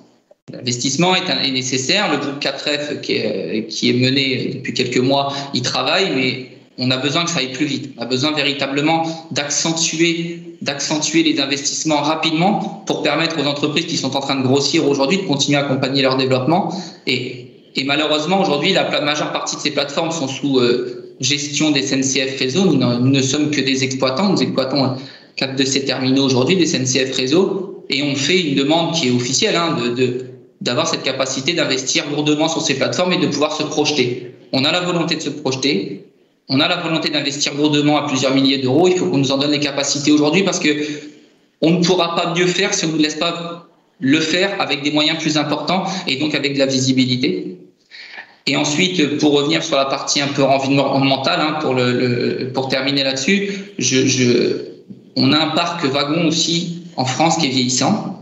On a besoin d'investir pour gagner en productivité, pour être plus efficient, euh, accompagner euh, un marché qui nécessite des conditions tarifaires qui sont toujours plus agressives. Et là-dessus, on a aussi une possibilité de mieux faire et de voir un parc euh, de flotte française se renouveler, qui est aujourd'hui un parc français de wagons qui est assez, assez on peut dire obsolète et qui nécessite rapidement d'être renouvelé au risque de voir une perte de performance globale sur le système. Merci Thibault. les messages sont clairs. C'est à la fois visibilité et investissement, le tout dans une forme d'urgence, euh, parce que euh, pas prendre une, comparaison euh, maintes fois euh, utilisée, mais le train ne repassera pas. C'est le moment pour, pour investir, mais à condition d'avoir de la visibilité. Si on peut résumer ça comme les choses de cette façon, ça vous va? Oui, et surtout, dans ce travail collaboratif, on n'est pas en opposition, que ce soit sur les modes de transport concurrentiels. J'estime qu'on est complémentaire, mais aussi avec les différents intervenants de cette chaîne. On est beaucoup à intervenir, on a besoin de travailler ensemble, parce que ce sera, la seule et unique manière de réussir à performer et de rejoindre les attentes du marché, parce que c'est la seule et unique chose qui doit nous intéresser, c'est la perception du combiné par le marché. Et aujourd'hui, on peut mieux faire et on peut le faire très rapidement, non pas avec des millions d'euros sur la table, mais ne serait-ce que par un travail collaboratif et de compréhension. Manuel Cordelet, vous faites du transport combiné spécialisé Railroute depuis 14 euh, ans, donc euh, vous avez une belle antériorité. Euh, quelles sont les priorités selon vous du point de vue opérationnel à, à dégager? Alors, avant toute chose, je voudrais recadrer juste pour dire que euh, moi je suis directeur commercial de l'OMAC. L'OMAC, en fait, ses clients, ce sont les chargeurs. Et les choses ne pourront se faire qu'avec les chargeurs. Aujourd'hui, si on veut être compétitif, si on veut développer euh, le, multimodal, il faut se comparer à la route. Il faut savoir qu'aujourd'hui, la route, la demande des chargeurs, c'est 98% de taux de service. Ça veut dire qu'on ne pourra développer que si on est au moins à la même qualité de service que la route. Et euh, l'entreprise bon, existe depuis 14 ans. Elle a commencé avec un dossier sur 3000 caisses par an. Aujourd'hui, 14 ans après, nous sommes sur 16 000 caisses en report modal. Euh, on ne l'a fait qu'en étant qualitatif et compétitif. Pour cela, on, s'est appuyé sur un opérateur ferroviaire historique depuis euh, de longues années, avec qui nous collaborons. Et comme le disait Thibault, ça ne peut se faire qu'avec une, un partenariat et une cohérence dans le mode de fonctionnement. Euh, les chargeurs qui nous écoutent aujourd'hui, qui ne font pas encore du rail route, il faut qu'ils puissent comprendre à travers cette, cette table ronde que il suffit d'essayer, il suffit de se mettre autour de la table, de comprendre les besoins, et on peut y arriver de manière très simple. Alors c'est sûr qu'on ne peut pas le faire sur toute la France, mais il y a des prérequis qui permettent de travailler correctement. Euh, je prends juste l'exemple, euh, je reviens sur la table ronde de, tout à l'heure où on demandait quel était le différentiel d'impact environnemental entre la route, 100% route, et, et mixte. Et, et, du route. Je prends l'exemple d'une relation que nous faisons tous les jours, qui est un Lille-Marseille. Un Lille-Marseille, c'est 1000 km. Euh, vous avez un terminal de, Dourges qui est à 40 km au sud de Lille, et vous avez le terminal de Miramas qui est à 60 km au nord de Marseille. Eh bien, vous avez 40 km en pré-acheminement, vous avez 60 km en poste, vous êtes donc à 100 km de route pour 1000 km de distance. Donc ça veut dire clairement que votre bilan environnemental, il est 10 fois inférieur à celui de la route. Donc là-dessus, question RSE, il n'y a pas de, question à se poser. Le travail aujourd'hui qu'on peut faire avec nos chargeurs, c'est un travail sur les flux amont, les flux aval, pour pouvoir justement équilibrer ces, modes. Parce que le principe du rail route, ce sont des flux pendulaires. Donc vous êtes constamment en recherche d'équilibre entre ce qui descend et ce qui monte. Ça, c'est quelque chose qui est très important. Et euh, pour ce qui est d'amélioration, je trouve que globalement, ça marche plutôt bien. Sinon, on ne ferait pas cette progression-là, bien sûr, en 14 ans.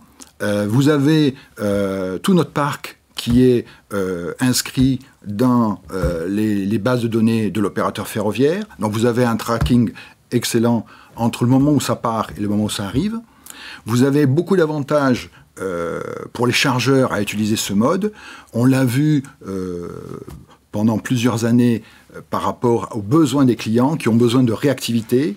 Euh, je prends juste des schémas très simples. Un chauffeur routier qui part de Lille, qui va à Marseille, il part le lundi, il va arriver le mercredi en livraison, et il va remonter, il sera de retour le vendredi. Donc le chauffeur, vous ne le voyez plus pendant une semaine. Avec le rail route, le votre chauffeur, c'est un régional de l'étape. Il va donc s'assurer des livraisons des enlèvements en permanence sur sa zone de chalandise. Puisque le principe du rail route, c'est que le chauffeur qui enlève n'est pas celui qui livre, bien entendu, hein, puisque vous avez le segment au milieu qui correspond au train. Juste pour euh, recadrer les choses, euh, l'OMAC, par rapport à ces 16 000 caisses en report modal, c'est 85% de la distance qui est faite en train. C'est-à-dire que les kilomètres pré et post représentent seulement 15%. Donc vous avez un bilan environnemental globalisé qui est 7 à 8 fois inférieur à celui de la route. Euh, il y a un confort qu'on apporte à nos, chargeurs, c'est que leur flux varie. Et par rapport à la route, ben, si le chauffeur du lundi est parti, vous ne le reverrez pas avant le vendredi. Le chauffeur du rail-route, tous les jours, il peut venir même trois fois par jour sur le site de l'industriel pour enlever des semis cadencés. Ça, c'est quelque chose qui est un confort de travail pour le chargeur de manière énorme. Vous, parliez de la fluctuation des, euh, des, quantités, des flux. Est-ce qu'il y a suffisamment de souplesse, euh, notamment en matière de réservation des caisses, etc. Est-ce que, est -ce que, ça, est-ce que l'outil est suffisamment adaptable à la variabilité euh, des besoins des chargeurs? C'est un travail au quotidien, bien entendu, puisque on ne peut pas faire passer l'opérateur ferroviaire en lui demandant un jour 10 caisses, le lendemain 30. Ça ne marche pas comme ça. Donc, on est sur un travail globalisé de l'ensemble de nos clients pour connaître leurs fluctuations, tout au long de l'année. On sait bien qu'on va être dans du allez, plus 10, moins 10, de façon à pouvoir euh, travailler et donner l'aliment à l'opérateur ferroviaire, puisque lui, il va avoir une machine quand même qui est importante, avec des frais fixes très importants, qu'il faut alimenter pour qu'il puisse rester, euh, comment dire Compétitif. Compétitif, voilà. Euh, mais ce qu'il ne faut pas perdre de vue, c'est que on se doit, en tant que transporteur, de devoir le service au chargeur, quoi qu'il arrive. Quand il y a un problème de train, eh bien, il faut que nous puissions prendre la route. Il n'y a pas de choix. Si on ne sauvegarde pas notre modèle économique en assurant coûte que coûte le service, les chargeurs ne reviendront pas. Mais d'une certaine façon, il ne faut pas que ça arrive trop souvent. Ah, ça, n'arrive pas trop souvent, bien heureusement. On peut citer bon, les derniers événements des grèves de décembre 2019 et, et de, jusqu'au 8 janvier 2020, euh, où là, euh, pas le choix, on a fait l'équivalent de 850 relais par la route pour garantir le service aux clients. Ça nous a coûté cher, ça nous a fait mal, mais on a assuré le service pour être sûr que lorsque les choses sont revenues à la norme, les clients reviennent. Et ça a été le cas. Ça a été le cas. Ça a été le cas. À partir du 8 janvier, quand les choses sont remontées, euh, en trois jours, les clients sont revenus sur le, sur le rail, nous ont fait confiance parce qu'on a assuré la qualité dans les moments difficiles. C'est ça qui est très important à comprendre, c'est que le chargeur, on l'accompagne quoi qu'il arrive. On ne peut pas lui dire, il y a un problème de train, vous ne serez pas livré, ou on trouvera des solutions alternatives. C'est ça qui est très important si on veut continuer à développer le rail route comme on l'entend. Merci euh, Manuel Cordelet. Une, question à tous les quatre. Euh, les moments difficiles dont vous parliez, on en, connaît depuis plus d'un an. Euh, qu'est-ce que vous retenez du point de vue opérationnel comme leçon de ces mois, de cette année extrêmement compliquée, comme leçon positive pour le transport combiné? Est-ce qu'il y a eu des bonnes nouvelles d'un point de vue opérationnel qui, qui vous font regarder l'avenir de façon plus positive? Thibault? Je dirais la, résilience. Je pense que notre mode a réussi pendant toute cette période à, traverser, euh, à traverser euh, ce, moment difficile tout en restant d'une manière euh, et, de, dans toutes les manières aussi efficace qu'auparavant. Et la deuxième chose qui nous permet de penser que on, peut, on ne peut qu'aller vers l'avant et se développer, c'est aussi la performance qu'on a pu avoir pendant toute cette période où on a bien vu qu'à partir du moment où on laissait un petit peu de place au fret, le fret remplissait ses engagements avec des taux de, circulation qui étaient relativement conséquents par rapport aux passagers. Donc on a maintenu nos plans de transport hein, à quasiment plus de 90% à partir du mois de juin, donc ce qui est quand même assez conséquent par rapport à l'impact que ça avait pu avoir sur le passager. Donc euh, oui, oui, pour moi, pour moi on ne voit qu'un horizon euh, potentiellement doré pour notre mode, avec en plus une prise de conscience euh, de la part du gouvernement et aussi au niveau européen de l'importance de notre métier et de la valorisation de celui-ci. Deux questions pour terminer cette table ronde. Une, une première, peut-être pour vous, Manuel Cordelet. Euh, un argument de vente aux chargeurs pouvant être le suivi en temps réel de la caisse, type Amazon, est-ce envisagé euh, chez des exploitants ou chez l'OMAC? Alors, on est en train justement d'expérimenter de, un logiciel qu'on appelle TraxHub, qui permet justement de suivre avec des, des plots, de suivre la commande du client euh, jusqu'en livraison en étant euh, collé au numéro de la caisse et au numéro de la commande. Ça, c'est ce qu'on est en train d'expérimenter pour que justement ce tracking se fasse de bout en bout. Et ça, c'est les chargeurs sont FANA de, Les chargeurs sont FANA, il y a différentes applications qui existent. Euh, ça, c'est quelque chose sur lequel les, clients sont, sont très friands. juste, je voudrais rajouter quelque chose d'important pour les chargeurs, c'est que le fait d'utiliser le rail route, vous maîtrisez vos budgets. Pourquoi? Parce que aujourd'hui, vous avez les pieds de facture gasoil qui se calculent en automatique sur l'ensemble des factures transport. Bon, un, pied de facture gasoil rail route, il est 3 à 4 fois inférieur à celui du routier. Donc c'est aussi un argument puisqu'on est beaucoup moins tributaire de la fluctuation du cours du carburant. Et on voit ces jours-ci que ça a tendance euh, effectivement à, remonter. Une dernière question pour vous, euh, Monsieur Régnier, quelqu'un qui manifestement connaît bien le port du Havre et qui dit que le transport combiné est assez minoritaire sur le port du Havre. Que pourriez-vous mettre en place pour inciter vos clients à utiliser davantage le transport combiné sur ce site? Alors, quand j'exprime qu'il est euh, minoritaire, j'entendais le transport combiné continental, donc lié plutôt à du marché euh, domestique interne. Euh, c'est vrai que sur la place du Havre, on ne voit très peu de caisses mobiles hein, passer sur la zone, alors qu'il y a énormément d'entrepôts logistiques qui réceptionnent des marchandises venant du maritime et qui pourraient ensuite les faire acheminer euh, sur des zones intérieures françaises par caisse mobile ou, autre moyen. Donc on a un outil, nous, qui est là pour ça aussi. Hein. le terminal multimodal Havre n'est pas que maritime. Il est équipé pour proposer du service également sur du transport combiné, on va dire classique, domestique. Euh, donc c'est un appel un petit peu, effectivement, à, des clients ou à des chargeurs potentiels, importateurs, d'utiliser cette solution-là pour redélivrer euh, leurs marchandises qui auraient pu être euh, acheminées via le port du Havre. D'autant que maintenant, il y a une infrastructure ferroviaire toute neuve. Alors, il y a le fameux hein barreau Sarque-Gisors qui a été mis en opération depuis, depuis le mois de mars, qui permet aujourd'hui à à certains trains de passer par ce segment et donc d'alléger le, classique Mantes-la-Jolie, euh, zone euh, région parisienne, qui est toujours assez compliqué. Euh, effectivement, ça nous permet aussi d'avoir de, une régularité sur l'arrivage des trains un peu plus sérieuse, donc de permettre nous le traitement de nos opérations de façon plus, plus, plus fluide. Cette table ronde arrive à son terme. je vais remercier tous les quatre. Merci à vous trois ici en plateau. Merci Thibault de de notre belle province. Euh, prochaine table ronde dans quelques instants euh, consacrée euh, au, transport combiné dans une perspective européenne. Merci à, vous quatre et, et, un petit film pour patienter avant la prochaine table ronde. Merci à vous.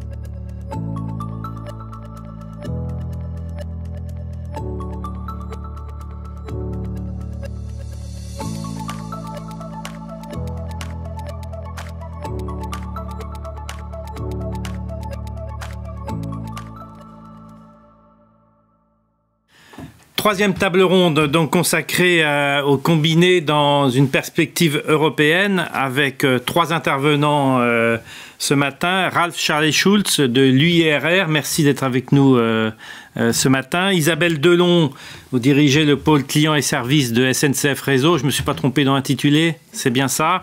Et puis Alphonse Lafont de la SAMAT. Vous nous direz dans quelques instants euh, exactement ce que, vous, ce que vous faites comme activité du transport extrêmement euh, spécialisé. C'est ça. Avec euh, un certain nombre de, de, contingences importantes et, ce sera intéressant de voir comment vous voyez euh, le, combiné dans cette combiné français dans cette perspective européenne. Je voudrais commencer avec vous, euh, Ralph Charles Schulz. Vous êtes bien connu des spécialistes du combiné parce que vous avez une vision globale à l'échelle européenne et puis vous maîtrisez très bien les chiffres. Alors on pourrait rester longtemps avec vous parce que déjà au, téléphone j'ai vu que vous étiez, vous auriez pu tenir à vous seul ces deux heures, mais on peut, on va se, focaliser sur euh, cette question de la France au milieu du, réseau européen et de voir quelle est votre, votre approche euh, de, cette question.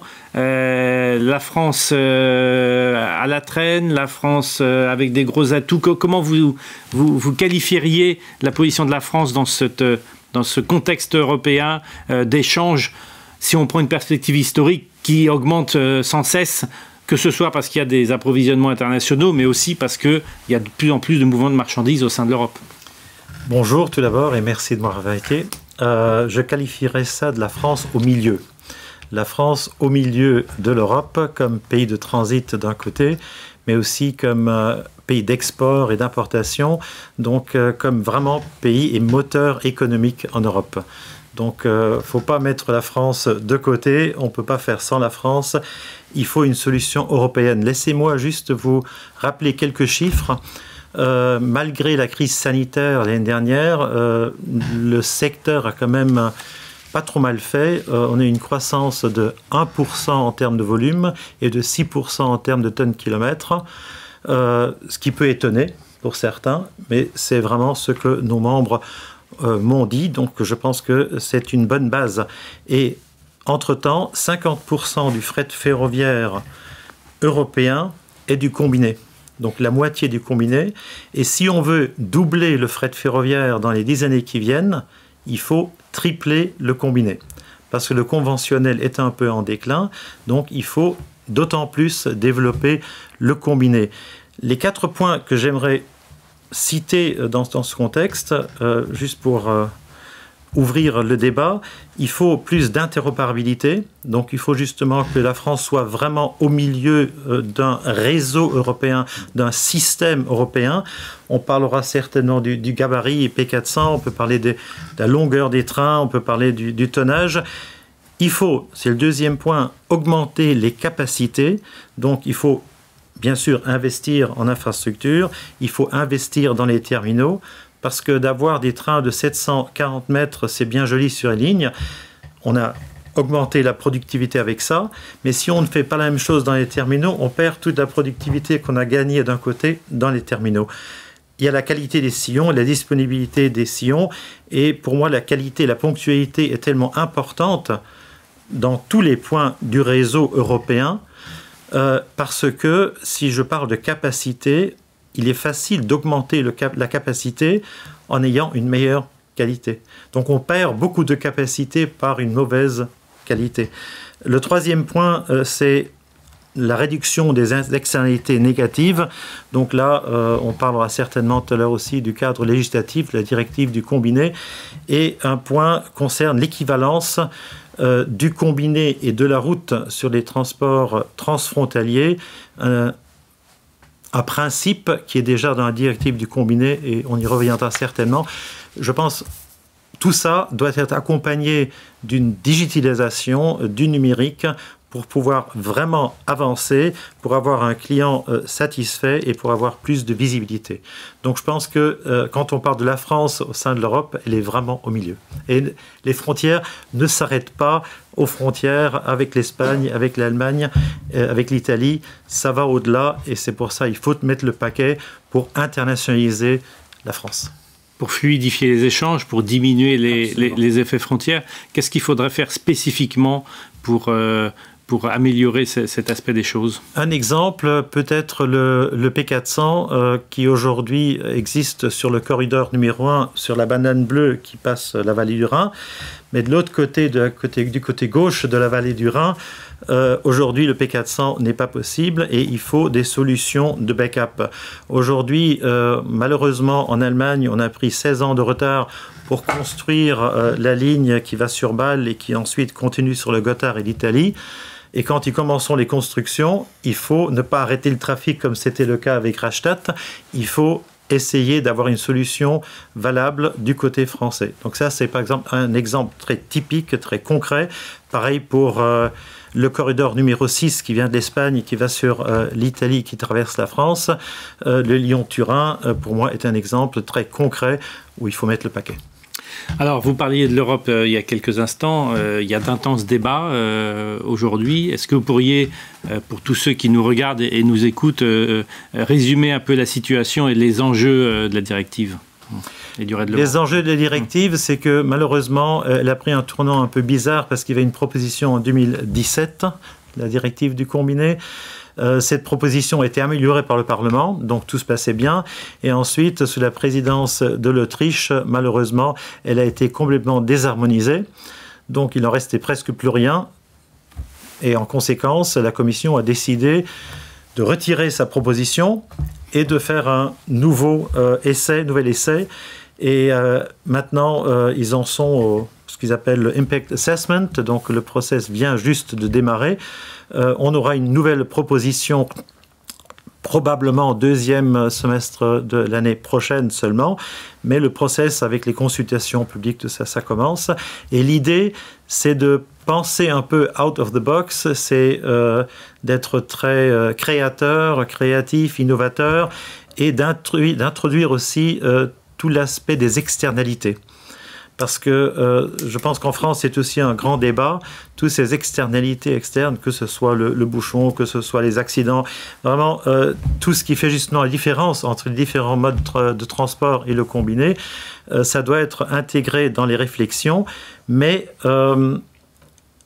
en ce qui concerne la durabilité du transport combiné, elle est aussi bien environnementale, elle est sociale et aussi économique. Au niveau de l'environnement, on peut réfléchir à avoir par exemple un calculateur CO2, mais il faut faire très attention parce qu'un camion vert aura peut-être une performance, meilleure. performance mmh. meilleure que le rail à la fin, mais ce n'est jamais le cas parce que euh, un camion, euh, aussi vert soit-il, ne sera jamais aussi bon que 40 camions sur un train. Mmh. Il y a toujours un peu de scepticisme euh, vis-à-vis des politiques européennes, trop lentes, trop compliquées. Est-ce que, est que sur cette question spécifique du transport combiné, il faut attendre quelque chose de l'Europe euh, dans, les années à venir? Tous nos interlocuteurs depuis ce matin disent il faut de la visibilité et il faut aller assez vite. -dire il y a une opportunité, on, la sent bien, écologique, économique. Euh, est-ce qu'il faut attendre vraiment quelque chose de l'Europe dans cet espace de temps euh, assez réduit? Nous n'avons que ce momentum, nous n'avons que cette opportunité maintenant. C'est la première fois que le transport combiné est spécifié dans euh, la communication du European Green Deal, donc aussi dans la loi climatique. Donc ils attendent du combiné que ce soit une vraie solution. Aujourd'hui, il faut savoir que 25% euh, des émissions CO2 viennent du transport. Donc là, il y a un vrai levier. Et le transport combiné peut jouer vraiment la solution, peut être la solution idéale. Il faut attendre quelque chose, mais il faut le cadre législatif adéquat. Donc en fait, ce que vous nous dites, c'est que les acteurs sont d'ores et déjà européens parce qu'ils ont compris que les défis sont européens et, que euh, les institutions euh, feraient bien de se mettre euh, au diapason et d'aller un peu plus vite que ce qu'elles faisaient jusqu'à maintenant. On n'a pas de temps à perdre et on n'a pas de raison d'attendre. Donc je pense que les acteurs peuvent y aller tout de suite. Il ne faut pas attendre un cadre législatif, on peut agir tout de suite.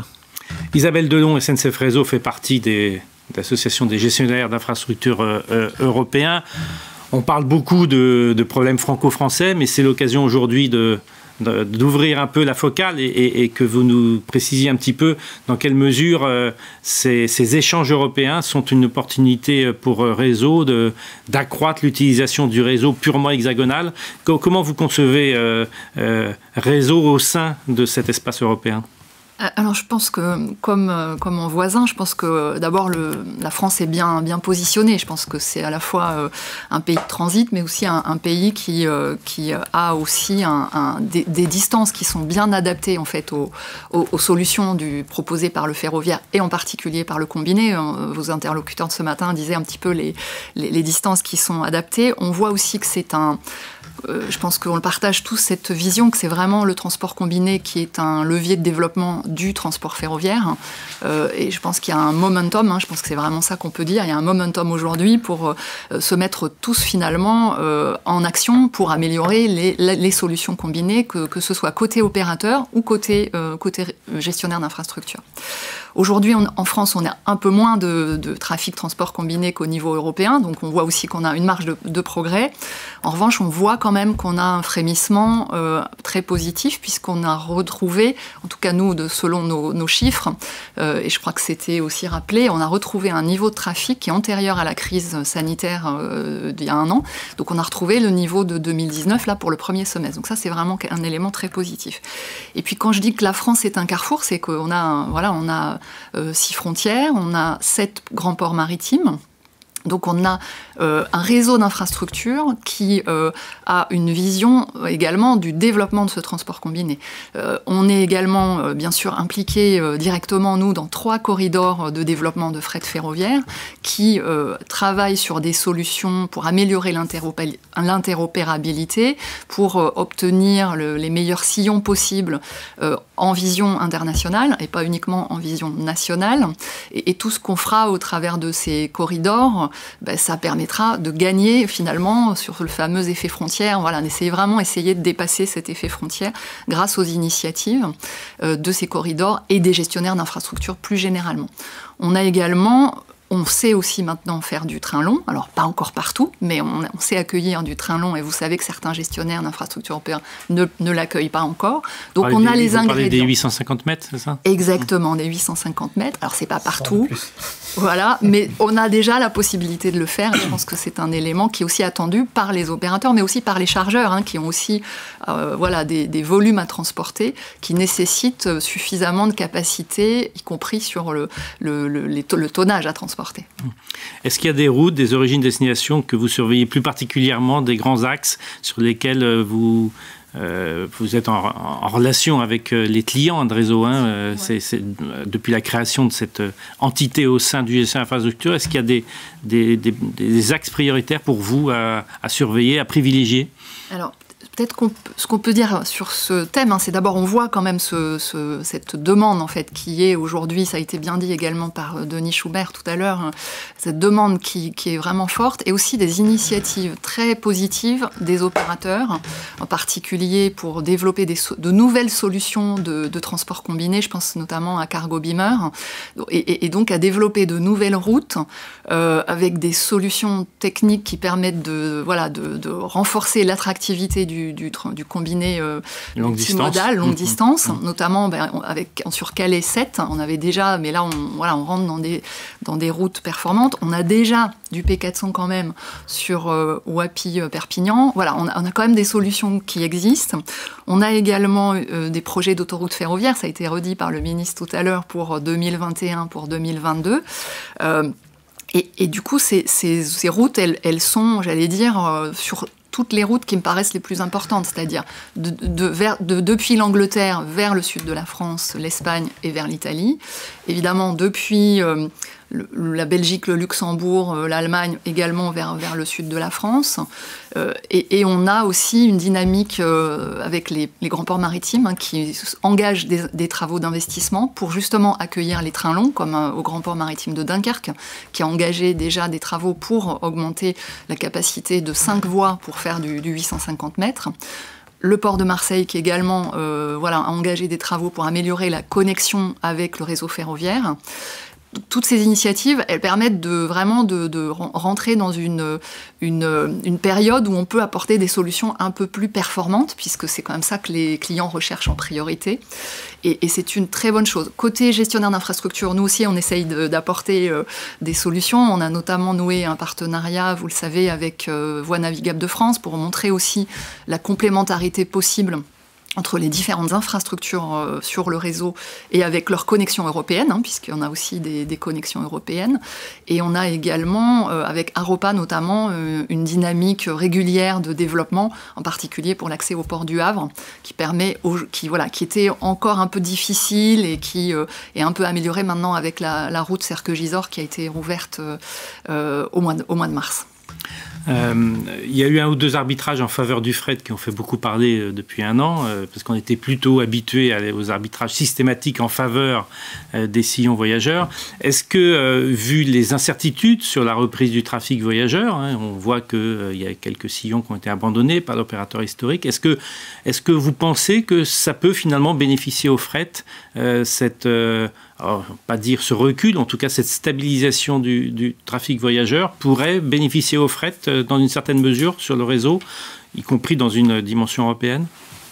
Alors, euh, moi, j'ai quand même espoir que le, trafic voyageur reprenne. Mais c'est incertain pour l'instant. On sait, ne sait pas trop où on va. Enfin...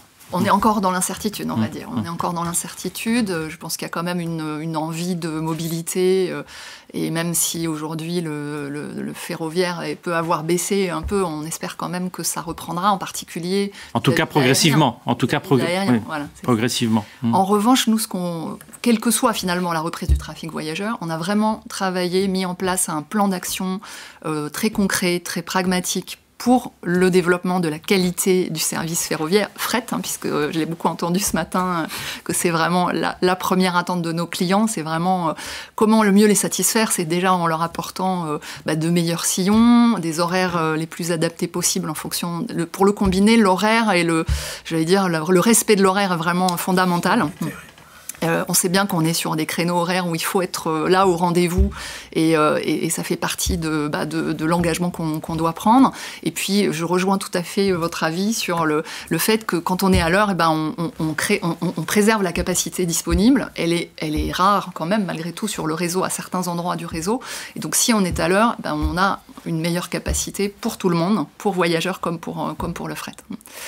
Euh, ce qu'on fait peut-être sur ce sujet très précisément depuis euh, que s'est mis en place la mise en place la dynamique 4F, on a lancé euh, avec 4F en coopération et les opérateurs qui participent à 4F un groupe de travail qui se réunit depuis un an environ maintenant tous les 15 jours et qui permet vraiment de partager en transparence les besoins du marché, en part, du marché de façon générale mais aussi du, combiné et qui vraiment permet de, de se projeter pour donner cette visibilité, cette euh, fiabilité qui est tant attendue, on a vraiment besoin d'anticiper. Euh, la différence du fret, euh, le voyageur, lui, anticipe beaucoup ses besoins. et il faut vraiment qu'on travaille dans l'esprit du TTR, en fait, hein, du time, time pardon, redesign du, voilà, de, l'horaire, en fait. Comment est-ce qu'on crée euh, dans euh, finalement euh, l'horaire que l'on construit sur le réseau, la place qu'on peut réserver vraiment pour le fret ferroviaire? Aujourd'hui, on sait qu'on est quand même dans la réservation de capacité vraiment à très court terme, ce qui rend difficile la qualité des sillons puisqu'on les commande vraiment euh, dans les mois qui précèdent finalement la circulation. L'enjeu c'est vraiment de partager les données du marché entre nous pour qu'on puisse nous euh, pré-réserver euh, dans l'esprit de TTR des sillons, des même j'irais même des bandes de capacité, hein, comme on dit, les rolling planning, qui permettent de garder de la capacité disponible de qualité pour le fret ferroviaire. Et, là, moi, je constate que tout le monde joue le jeu, tout le monde partage, met ses données et, partage les enjeux de développement. Et c'est vraiment par ce partage, cette transparence et cette visibilité qu'on pourra euh, rentrer dans cette dynamique de préservation de la qualité des sillons, d'anticipation de sillons de meilleure qualité. Donc c'est ensemble qu'on va réussir à faire ce défi de la qualité de service. Je ne crois pas à l'opposition, je crois vraiment au fait de construire ensemble de meilleures, euh, de meilleures solutions. Vous avez parlé du digital, on travaille également sur... Euh, des solutions euh, pour améliorer bien sûr la, réservation euh, euh, de façon unifiée. On sait que dans chaque pays, le système de réservation des sillons est différent. Donc on travaille et le plan de relance prévoit un des investissements numériques que nous allons mettre à profit pour accélérer certaines solutions de réservation. Bon voilà, on a plein de choses à faire ensemble et voilà, on pourra y revenir peut-être tout à l'heure. Je vois que. Donc, en gros, co-construction, ça veut dire que bon, il y a une feuille de route financière, mais vous continuez à travailler en construction, en co-construction avec l'ensemble des acteurs. Je voudrais demander à un acteur qui, lui, a une vision vraiment terrain et, opérationnelle. avec vous, Monsieur Lafont, la, SAMAT fait du, transport, enfin 50% de la chimie, enfin c'est surtout des, matières dites dangereuses. quelle est votre appréciation de, euh, des, solutions euh, françaises euh, dans cet espace européen, puisque vous faites beaucoup de transport, notamment Benelux, Scandinavie, etc. Oui, le, Samat est spécialisé dans la matière dangereuse, dans le vrac liquide, chimie particulièrement. Et euh, pour se recentrer sur le débat, euh, nous sommes euh, basés à, Rotterdam. pourquoi Rotterdam? Nos équipes sont à Rotterdam pour plusieurs raisons. Un, c'est la langue. il est facile de recruter des, exploitants, ce qu'on appelle des planeurs qui parlent 3-4 langues facilement. Et puis la, deuxième raison, c'est le cœur de la chimie. Dans notre métier, comme on est spécialisé, vous avez euh, le pôle Rotterdam, euh, Anvers, et puis également euh, la partie allemande, dont on est au cœur du métier. Donc nos exploitants travaillent sur cette zone-là, et, ensuite ils radient tous les autres pays, l'Angleterre, la Scandinavie, la Russie, les pays d'Europe de centrale, et puis l'Europe du Sud. Donc ils ont une vision un peu complète du, business, entre guillemets, sur le multimodal en Europe. Alors comment, comment ils voient la France? Lorsque vous leur posez la question, euh, la première réaction, c'est un peu, peu favorable, on va dire, euh, pour diverses raisons, suivant l'âge des, intervenants. Si on prend les plus anciens, euh, l'image de la France, c'est la grève. Je, suis désolé, mais c'est le commentaire qu'ils disent. Ils gardent de très mauvais souvenirs des payeurs de grève. Donc pour eux, ces complications, comme vous le savez, c'est rupture de charge, c'est retrouver des solutions. Solutions alternatives, etc. Alternatives. Et puis ça a un impact sur la rentabilité, évidemment. Et c'est un effet insidieux quand même, je, tiens quand même à le préciser, c'est que ça, traduit après, ça traduit par un manque d'appétence pour le marché français. Voilà, ils se sont, ils sont mouillés, entre guillemets, ils se sont brûlés un petit peu à chaque fois. Donc il y a un manque d'appétence. C'est dommage. Par contre, fait positif, depuis deux ans, euh, nos exploitants juniors, euh, ou qui viennent d'intégrer pendant la période de Covid, euh, n'ont pas du tout la même image. Voilà, puisque depuis deux ans, euh, l'image du, transport combiné en France, quand même, je pense, a fait un gros progrès, c'est nettement amélioré. Alors, si on compare euh, euh, l'offre française avec l'offre européenne, ils sont un peu, ils ont des forces de proposition, ils ont des propositions à faire. En voilà, qu'est-ce qu'il faudrait pour utiliser un peu plus le combiné français? On parle d'un corridor, on parle, mais ils voient aussi la France quand même comme un pays un peu isolé, c'est-à-dire qu'il y a des frontières, et ça c'est dommage. et ils reprochent ce côté manque d'interconnectabilité. Euh, je vous donne un exemple. Euh, pour eux, c'est plus facile de faire du Lubeck-Lyon euh, ou du, Leverkusen-Lyon, par exemple, que faire du Rotterdam-Lyon. Rotterdam-Lyon, il y a rupture de charge, il faut arriver à Dourges, il faut prendre des conducteurs routiers, etc. Donc c'est trois jours, quatre jours, alors que le Lubeck-Lyon, c'est deux jours. Euh, c'est par une entreprise euh, allemande privée, ça marche bien, il n'y a pas de souci. Donc ça, c'est ce qu'ils souhaiteraient, c'est avoir une meilleure euh, interconnectivité avec les réseaux français, surtout lorsqu'on passe par le nord de la France. la France aussi, le nord paraît un peu, un peu un désert vu de Rotterdam. Je parle dans notre métier de la chimie puisque c'est vraiment la zone d'achalandise.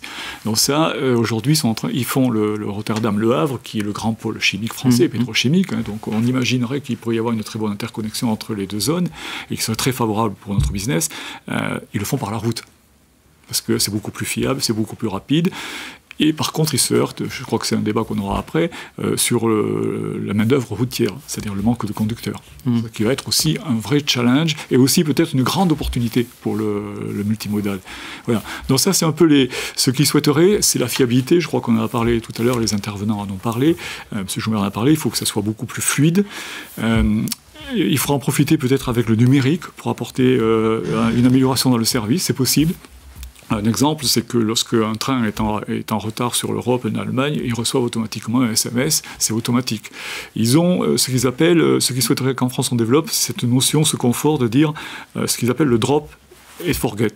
C'est-à-dire, c'est je dépose le conteneur sur le terminal et je l'oublie, je passe au suivant. C'est automatique, c'est fluide. Quand on parle de la France, ils ont le sentiment qu'il faut le suivre, il faut peut-être intervenir. Voilà. Donc ça, il dirait, voilà, si vous arrivez à faire ça, euh, on pourra nettement augmenter les volumes avec euh, la France. C'est un peu la vision, la vision qu'ils ont. Voilà. à aujourd'hui.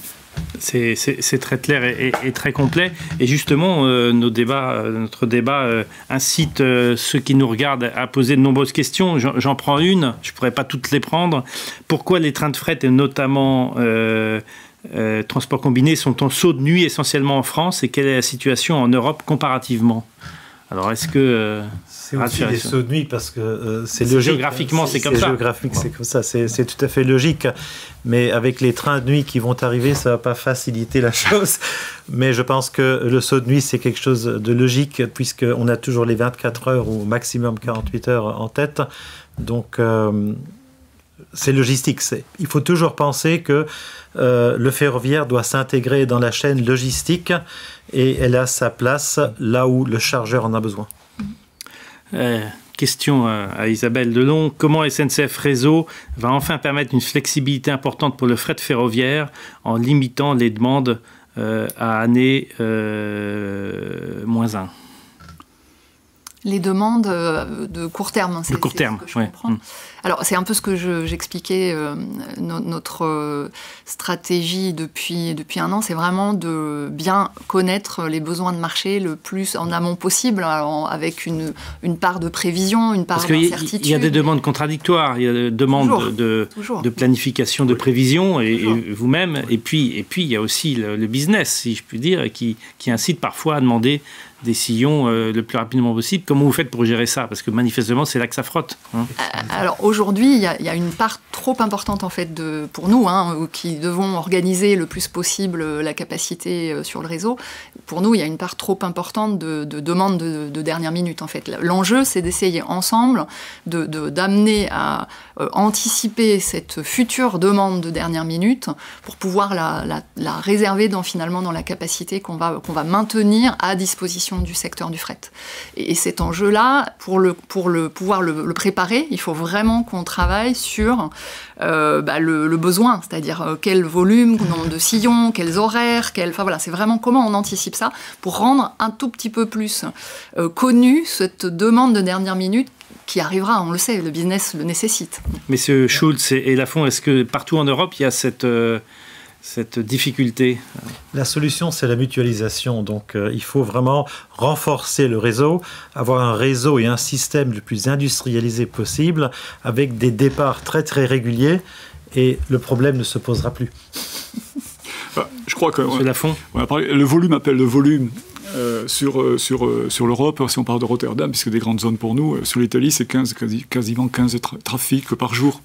Euh, donc, euh, comme on disait, euh, vous, vous ratez le premier, vous aurez le second, etc. Donc, ce qu'il faut vraiment, c'est que la, qualité de prestation s'améliore, l'offre s'améliore. C'est vrai que c'est du long, temps, long terme, mais le volume appelle le volume.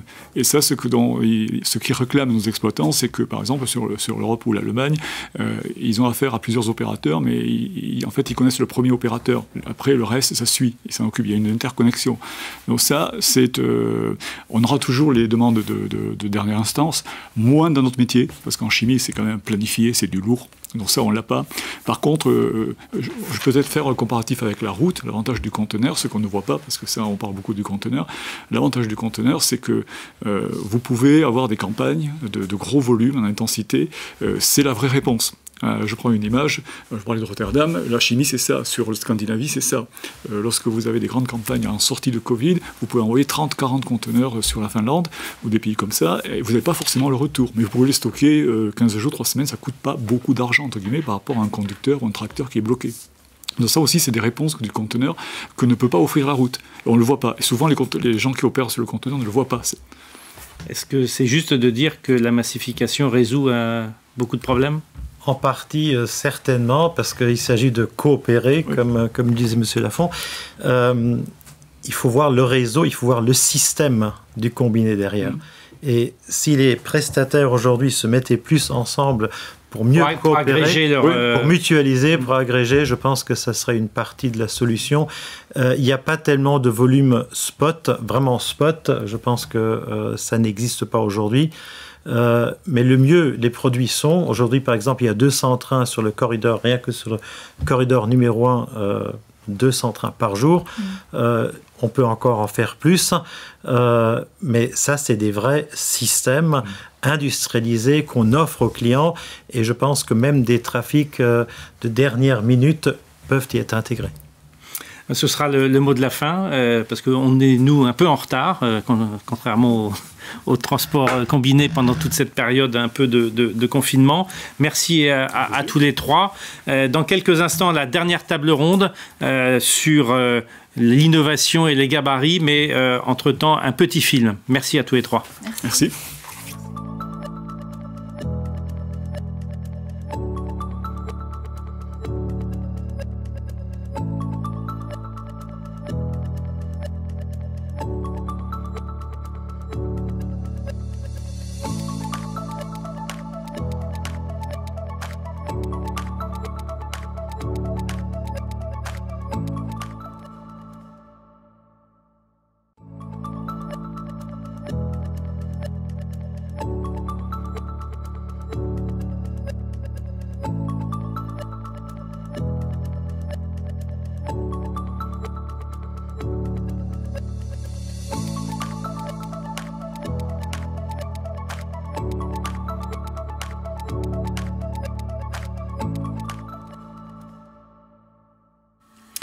get quatrième et dernière table ronde de, cette matinée consacrée au, transport combiné.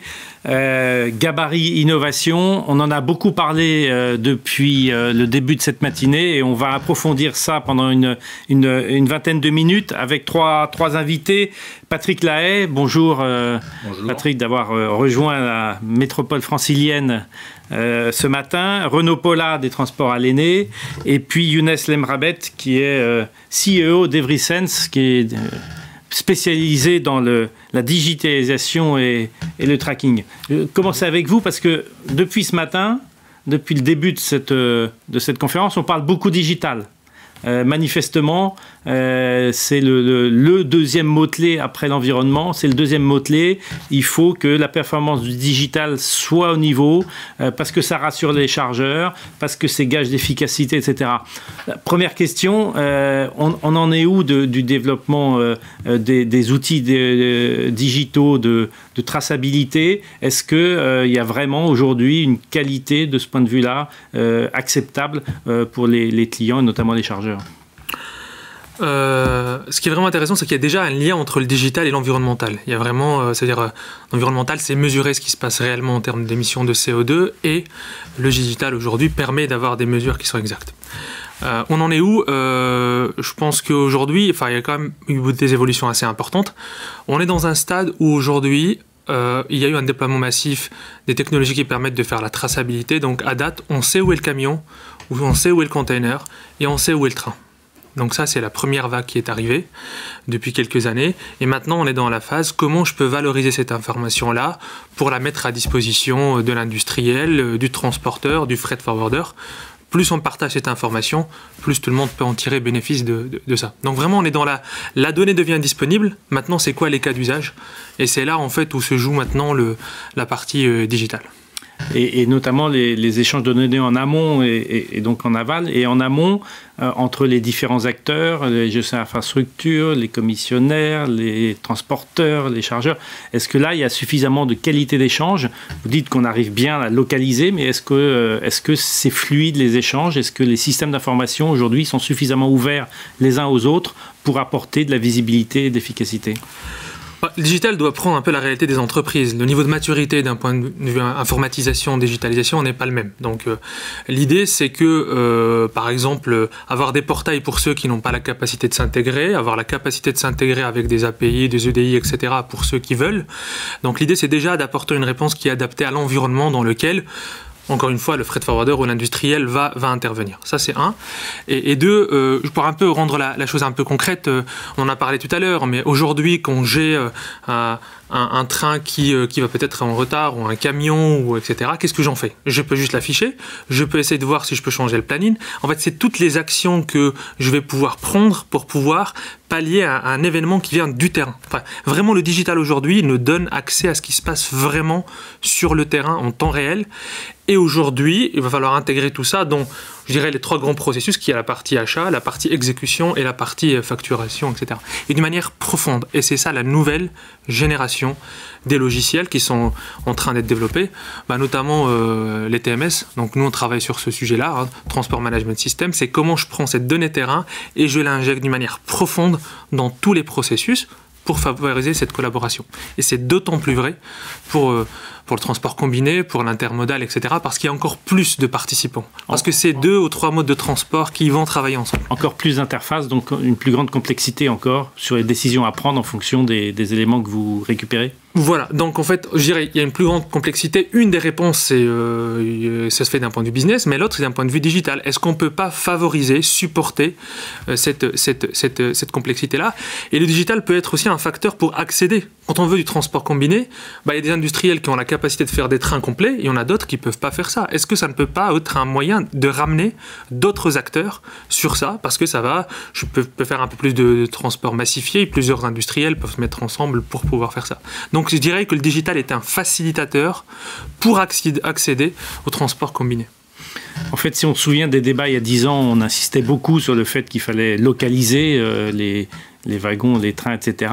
Et en fait, maintenant que c'est euh, accessible, les clients sont devenus de plus en plus exigeants et ils veulent des solutions une fois qu'ils ont constaté euh, que, par exemple, leur, leur train était calé ou qu'ils avaient une, capacité euh, qu'il fallait agréger à d'autres pour euh, déclencher un, convoi. C'est ça, c'est ça la priorité aujourd'hui. En fait, si on va au bout de la chaîne, ça veut dire qu'il y, a, tous les acteurs, euh, donc les transporteurs, les freight forwarders, les industriels, et maintenant les clients des industriels leur demandent cette information. Donc en fait, maintenant, c'est ces acteurs-là qui commencent à dire, mais j'en ai besoin parce que il y a d'autres modes de transport qui, par exemple, qui niveau, niveau de maturité dans les modes de transport n'est pas la même, mais ça vient aussi de là. Un, ça vient aussi du fait que euh, quand on veut faire du transport intermodal combiné, bah, en général, on vient de la route, on vient du rail, on vient on maîtrise pas tous les modes de transport. Donc le digital peut être aussi aider à faire le pied à l'étrier pour pouvoir maîtriser un nouveau mode de transport dans un moindre frais. Donc on commence à avoir des cas d'usage externes et internes aux industriels. Merci Patrick Lay et, Renaud Paula. On va parler dans quelques instants euh, P400, 46 tonnes, etc. Mais un mot peut-être euh, sur ces aspects digitaux. Euh, c'est une préoccupation quotidienne, euh, une, obsession. Que, comment vous qualifieriez euh, les progrès qu'il faut réaliser en la matière de votre propre point de vue d'opérateur Ouais, bon, on a déjà une traçabilité de nos caisses déjà pour savoir où elles sont. Hein. c'est déjà le, le BABA quand même. Oui, mais c'est pas si. Ouais, ouais. Bon, il existe aujourd'hui hmm. des systèmes autonomes qui nous permettent, systèmes simples, hein, de, de, de, localiser, de, hmm. localiser euh, ça. Alors sur la partie euh, plus, plus, particulièrement sur la partie frigorifique, là on a besoin d'une vraie traçabilité de la température le temps du voyage parce qu'on peut intervenir aussi sur euh, a des givrages de groupe, ainsi de suite. Bon, c'est un peu technique, mais on a, là, on a tous nos groupes sont euh, sous surveillance. Sous surveillance euh, systématiquement des stocks qui sont sur le train. Hein. Donc c'est, le besoin est là. on est on est que sur du national, hein. donc on hmm. euh, c'est une complexité. Mais c'est une, c'est un outil aujourd'hui. Sur, la traçabilité de la température, particulièrement en, temps réel, on, a besoin de savoir, euh, ne serait-ce que si un train est calé, est-ce qu'on a un niveau, niveau de fuel suffisant pour pouvoir tenir, et ainsi de suite. Euh, Toutes sortes d'indicateurs. Renaud Paula oui, c'est un, un, élément euh, qui, est, qui, est, vital aujourd'hui dans la vie de nos entreprises de, de transport. Déjà d'une part pour nos propres exploitants, euh, qui leur permettent d'avoir de la donnée en temps réel et de savoir exactement où se situe euh, tout le, matériel. Euh, à, la, différence de, Patrick Lay, notre matériel est plutôt orienté sur l'international, donc on a besoin de savoir où se situent les remorques à chaque instant. Je dirais euh, le, point important, et on en discutait également tout à l'heure avec Patrick, euh, il va falloir que nous, transporteurs, on sache valoriser toute cette data en fait que l'on emmagasine et où aujourd'hui nos clients nous demandent quasiment de l'avoir pour gratuit. Et je pense qu'à un certain moment, notre profession doit être suffisamment grande pour, euh, pour pouvoir justement euh, être capable de valoriser en fait euh, toute cette masse d'informations que l'on donne et qu'on puisse également continuer à la contrôler. Et ça, c'est le point le plus important. Euh, c'est pas la, donner comme ça gratuitement à, je ne sais trop qui qui en font eux par contre un, un vrai commerce quoi. Vous, vous, avez un chiffre, euh, Younes Mbrabet, pour euh, nous montrer euh, à quel point ça, ça, ça a pris de l'importance dans les, dans les budgets des, des opérateurs et l'ensemble des acteurs du, du transport combiné? Peut-être pas spécifique au transport voilà, combiné. Je pas donner, mais je sais qu'une DSI euh, a, cette année a un budget, son budget a doublé, budget digital, alors qu'on est en sortie de la, de la, crise. Donc je ne vais pas dire que c'est un grand groupe, mais, euh, mais ça veut dire qu'il y a un investissement. J'ai vu quand même des grands projets qui n'ont pas été arrêtés euh, en termes de digitalisation malgré la crise. Donc c'est resté en tête des ça reste priorités en tout cas. Ça reste en tête de priorité. Euh, il y a un enjeu aussi, je pense que vous, vous, en avez parlé, qui est un peu stratégique. Donc c'est comment chaque acteur peut tirer bénéfice de cette donnée la contrôler, l'utiliser pour lui-même, mais aussi pour ses propres clients. Et donc là, je dirais que la, la, la, technique ne permet que de répondre à un besoin, mais ça, c'est un niveau de, de se mettre d'accord sur la chaîne de valeur qui est un peu différent. Pour moi, la digitalisation suit la chaîne de valeur, et ça, c'est les acteurs doivent échanger entre eux. Chacun selon leur spécificité. Alors justement, une des spécificités du transport à l'aîné, c'est de plaider pour le P400, si je peux résumer. Est-ce que vous pourriez nous dire un peu ce que vous attendez euh, de, euh, de cette solution? Alors euh, effectivement, on plaide pour le P400. Euh, alors disons que euh, le groupe Aléné euh, a décidé à fin 2018 euh, de s'orienter et de partir sur le multimodal, mais en optant pour la P400. C'est-à-dire que si on n'avait pas eu un opérateur ferroviaire qui aurait été capable de, enfin, qui n'était pas capable de, nous offrir une solution en P400, on ne serait jamais parti sur le multimodal. Tout simplement parce que, comme je vous disais tout à l'heure, enfin en préambule, on est orienté sur l'international et le multimodal pour nous était de, de venir en renfort de notre notre partie commission de transport qui est orientée sur l'international.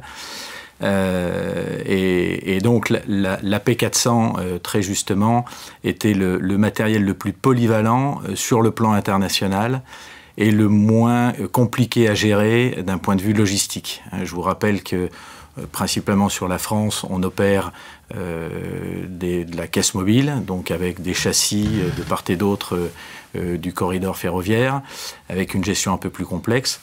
Euh, d'un point, de vue, point de vue purement opérationnel. Alors que la P400 a une, une facilité euh, d'opérabilité qui est vraiment euh, extraordinaire. On peut passer indistinctement de la route sur le fer sans avoir à gérer, en, en, en, ayant à gérer qu'un seul moyen en fait. Hein. Mmh. Donc euh, on, a, euh, on a cette possibilité également d'être euh, sur le 44 tonnes, hein, puisqu'on on opère, c'est le, propre du multimodal, en particulier à l'international, de pouvoir offrir à notre clientèle euh, du 44 tonnes, ce qui n'est pas possible sur du, sur du. Néanmoins, euh, la P400 euh, sur le territoire national euh, est limitée à certains corridors, puisqu'il euh, y a encore des ouvrages d'art qui font que c'est limité. c'est limité. Mmh. Donc on, on, a, euh, on a eu la chance avec, de faire un partenariat public-privé avec la Chambre de commerce de Mâcon et, et, et VIA, hein, donc filiale de la SNCF, pour ouvrir cette fameuse ligne entre Le Boulou et Mâcon, et Mâcon et, et Calais. Voilà. Donc c'est plus efficace en nord-sud le P400 aujourd'hui qu'en est-ouest. Euh, Patrick Lahaye est bien, bien placé pour, pour, On aimerait bien. pour, pour le savoir. Avant de, avant de donner la parole à, à Patrick, euh, on s'est dit aussi au téléphone qu'il y avait quelques, euh, quelques points essentiels. On ne l'a pas abordé ce matin, mais vous insistiez aussi sur le fait qu'il y avait pas de réservoir de chauffeurs routiers français et que c'était, selon vous, un élément extrêmement, enfin très décisif pour justifier ce multimodal. Effectivement, moi j'ai, enfin, on a vraiment beaucoup de craintes aujourd'hui euh, à l'aube du Mobility Package euh, qui devrait arriver euh, courant du premier trimestre 2022. Euh, pour rappel, donc on s'est lancé en 2018 euh, dans le multimodal parce qu'on avait, bon, déjà d'une part, on voulait inscrire le groupe Aléné euh, dans, euh, en tant qu'acteur de, la, réduction des gaz à effet de serre. certes, offrir à notre clientèle une possibilité... Une palette de solutions. Une palette de solutions supplémentaires, surtout sur la clientèle qui transporte des produits pondéreux, donc avec le fameux 44 tonnes. Et puis on avait une problématique à, l'époque de, de chauffeurs. On trouvait pas de chauffeurs sur le, sur le marché. Or, on a utilisé euh, aujourd'hui euh, ce que la loi nous, permet encore d'utiliser, à savoir euh, des affrétés permanents, qui sont en fait des, gens qui sont ressortissants principalement des pays d'Europe centrale et de l'Est. Loin, de nous l'effet low cost, hein, c'est pas du tout c'est pas du tout l'ADN de la maison en, particulier, mais simplement parce qu'on avait un manque de chauffeurs.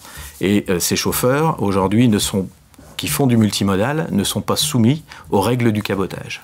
Or, le Mobility Package, euh, dans sa nouvelle euh, euh, dénomination, va nous imposer, à partir de février, je crois, d'être soumis aux mêmes règles que les règles du transport pur et dur, à savoir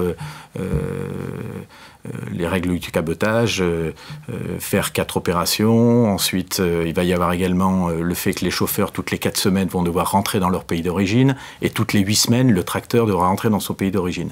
Autant vous dire qu'aujourd'hui, au niveau du groupe Aléné, c'est 80 chauffeurs qu'il faudrait qu'on trouve sur le marché on n'est pas capable aujourd'hui euh, de trouver 80 chauffeurs, en particulier sur, euh, sur la région euh, du Nord-Pas-de-Calais ou de la région Grand Est, Grand Est, ou enfin connaisse, on va dire, mm. de trouver 80 chauffeurs. C'est on est incapable. Même l'activité nationale Aujourd'hui, euh, on n'est pas capable de trouver euh, des chauffeurs pour, euh, pour, pour, pour faire la période, de, la période de, de l'été là, qui, se, qui se profile. Donc, moi, ce que j'ai peur, c'est qu'à un certain moment, ça va nous casser dans cet élan, un élan qui est formidable. Hein. On voit qu'il y a plein d'acteurs sur le marché qui sont en train d'arriver à nous proposer, d'opérateurs ferroviaires, à nous proposer des, des solutions en P400. Mais malheureusement, je crains que euh, le, le, Mobility Package vienne casser cet élan. Alors j'espère que l'URR, euh, dont le président était là euh, tout à l'heure, va continuer à se battre parce que je sais qu'il porte ce dossier à, bras le corps et que nous aussi également au sein du GNTC, on saura faire valoir nos droits. Merci Renaud Paula. Alors Patrick Lay, une question qui est parfaite pour introduire notre discussion. Qu'en est-il de la législation qui pourrait faire évoluer le poids limite de 44 tonnes à 46 tonnes sur la route pour le transport combiné? On est au cœur d'un combat euh, eh que vous menez. Alors pourriez-vous nous, nous bah, synthétiser l'enjeu et l'enjeu à 10 ans maintenant, parce que le, la, généralisation du 44 tonnes remonte à peu près à 10 ans. Hein, euh, et, et, donc nous avions une dérogation euh, multimodale 44 tonnes quand le routier était à 40 tonnes. Donc on a été englobé dans le dans le la folie du 44 tonnes généralisée. Et aujourd'hui, ben, on est fortement pénalisé. Alors, principalement quand on fait du, du avec une, un container, une caisse, hein, c'est-à-dire que une UTI, euh, particulièrement en transport frigorifique, où là on est encore un peu plus lourd, hein, euh, et, donc ce qui pose d'énormes problèmes, parce que vous, êtes un grand chargeur, vous êtes un grand chargeur qui fait euh, un peu plus de 100 camions par jour, qui a un standard de, de, 28 tonnes, 29 tonnes, parce qu'aujourd'hui un, routier euh, normalement constitué, un, ensemble routier, ça charge 29 tonnes euh, sans, problème. Nous, aujourd'hui, en multimodal, je, peux lui offrir que 26 tonnes de charge utile. Hein, que 26 tonnes de charge utile. Donc, quand un industriel euh, prépare 100 commandes pour, pour ses clients, il dit Ah ouais, celle-là, il faut que je la modifie parce qu'elle va passer sur le train. Donc, c'est quasi infaisable. Et nous, ça nous joue aujourd'hui il y a des marchés qu'on ne peut pas euh, acquérir uniquement à cause de ça. Parce, qu'on n'a pas la capacité à charger le même tonnage qu'un camion routier, qui est complètement ridicule. Hein, donc il, manque deux tonnes. Ben oui, il manque deux, voire plus, hein, parce que c'est, on dit deux tonnes parce que 48 euh, tonnes, quand on demandait 48 tonnes, alors 48 tonnes ça fait peur à tout le monde, donc on dit on va faire 46 et ça va être un intermédiaire. Mais bon, l'idéal, je vois pas pourquoi nous ne pourrions pas récupérer les 4 tonnes que nous avions auparavant. Hein, sachant que les, les camions sur les ensembles routiers aujourd'hui sur la route offre la possibilité de charger de, sans rien toucher. Hein, la charge utile par essieu, on va jusqu'à 47 tonnes et demi euh, sur, sur certains euh, véhicules sans problème, hein, sans rien. On n'est pas en surcharge à l'essieu ni rien du tout. Hmm. Donc il y a vraiment une volonté de dire bah, est-ce qu'on autorise cette dérogation-là qui existait qui existait? Est-ce qu'on autorise Est-ce qu'on la remet aujourd'hui Parce que c'est un vrai besoin. Hein. sincèrement, il y a des chargeurs qui ne viennent pas sur le multimodal exclusivement à cause de ça. C'est qu'on ne leur porte pas la capacité. On ne sait pas gérer la. On ne leur apporte pas la capacité de, charge utile hum. qu'un routier lui offre. C'est la principale demande aujourd'hui euh, en matière de... Non, c'est pas la principale demande. Hein. C'est ce que disait Renaud tout à l'heure. Hein, c'est, euh, le P400, euh, c'est certainement l'outil de demain. Hein. Je, suis quasi persuadé que c'est un véhicule, une unité beaucoup plus souple que le conteneur, parce que le conteneur, ça oblige à avoir des châssis dans les deux bouts, ça oblige à avoir une, euh, une manutention plus, plus, particulière, hein, tandis qu'un ensemble P400, bah, c'est vraiment euh, le multimodal par excellence, parce que ça, fait, euh, ça peut faire du routier sur une longue distance après, ça peut revenir sur un terminal et ainsi de suite. Et donc, c'est d'avoir un gabarit P400 qui d'ouest en est, parce que nous, on est très présent dans l'ouest et hum. on, a envie d'aller dans l'est et sur le Rhône-Alpes en P400. Et chose qu'aujourd'hui, sur seulement des parties de sillon qui ne sont pas au gabarit, mmh. seulement des parties. Hein. Mmh. Donc euh, on ne parle pas de, remettre euh, tout, tout, au gabarit. Tout, au gabarit. Mmh. Hein. C'est vraiment euh, peu.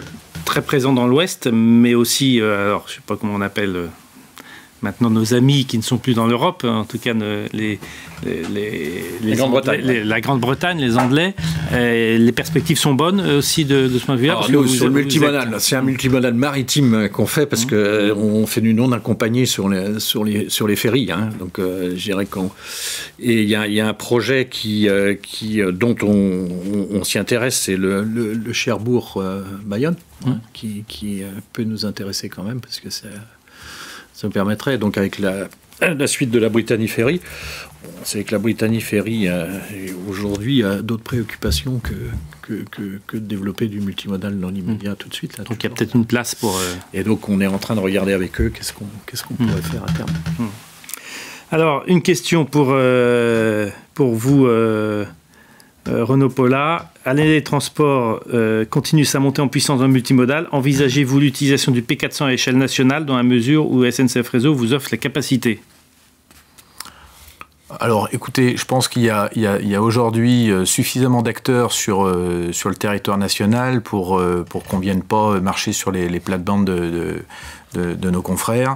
je pense que les, solutions apportées sont, sont, suffisamment bonnes. Euh, aujourd'hui, on, nous, on s'est orienté uniquement sur la, sur la partie internationale. Hein. C'est vraiment ça qui, qui, nous motive. Alors, je vous dis pas que euh, forcément, des fois, pour, euh, pour faire revenir des véhicules sur certains axes, en particulier, on, travaille également comme, comme Patrick Lahaye sur, sur la, sur la Grande-Bretagne. il y a certains retours de Grande-Bretagne où on arrive à Calais, à Vide, et on va recharger dans le nord de la France pour mm. revenir repositionner nos, remorques sur, euh, sur Macon, mais 95% euh, sont orientés sur l'international. Et on regarde, on est extrêmement attentionné euh, aux, développements qui sont en train de se avec un certain nombre d'opérateurs étrangers. Donc, j'entendais tout à l'heure parler de Cargo Beamer.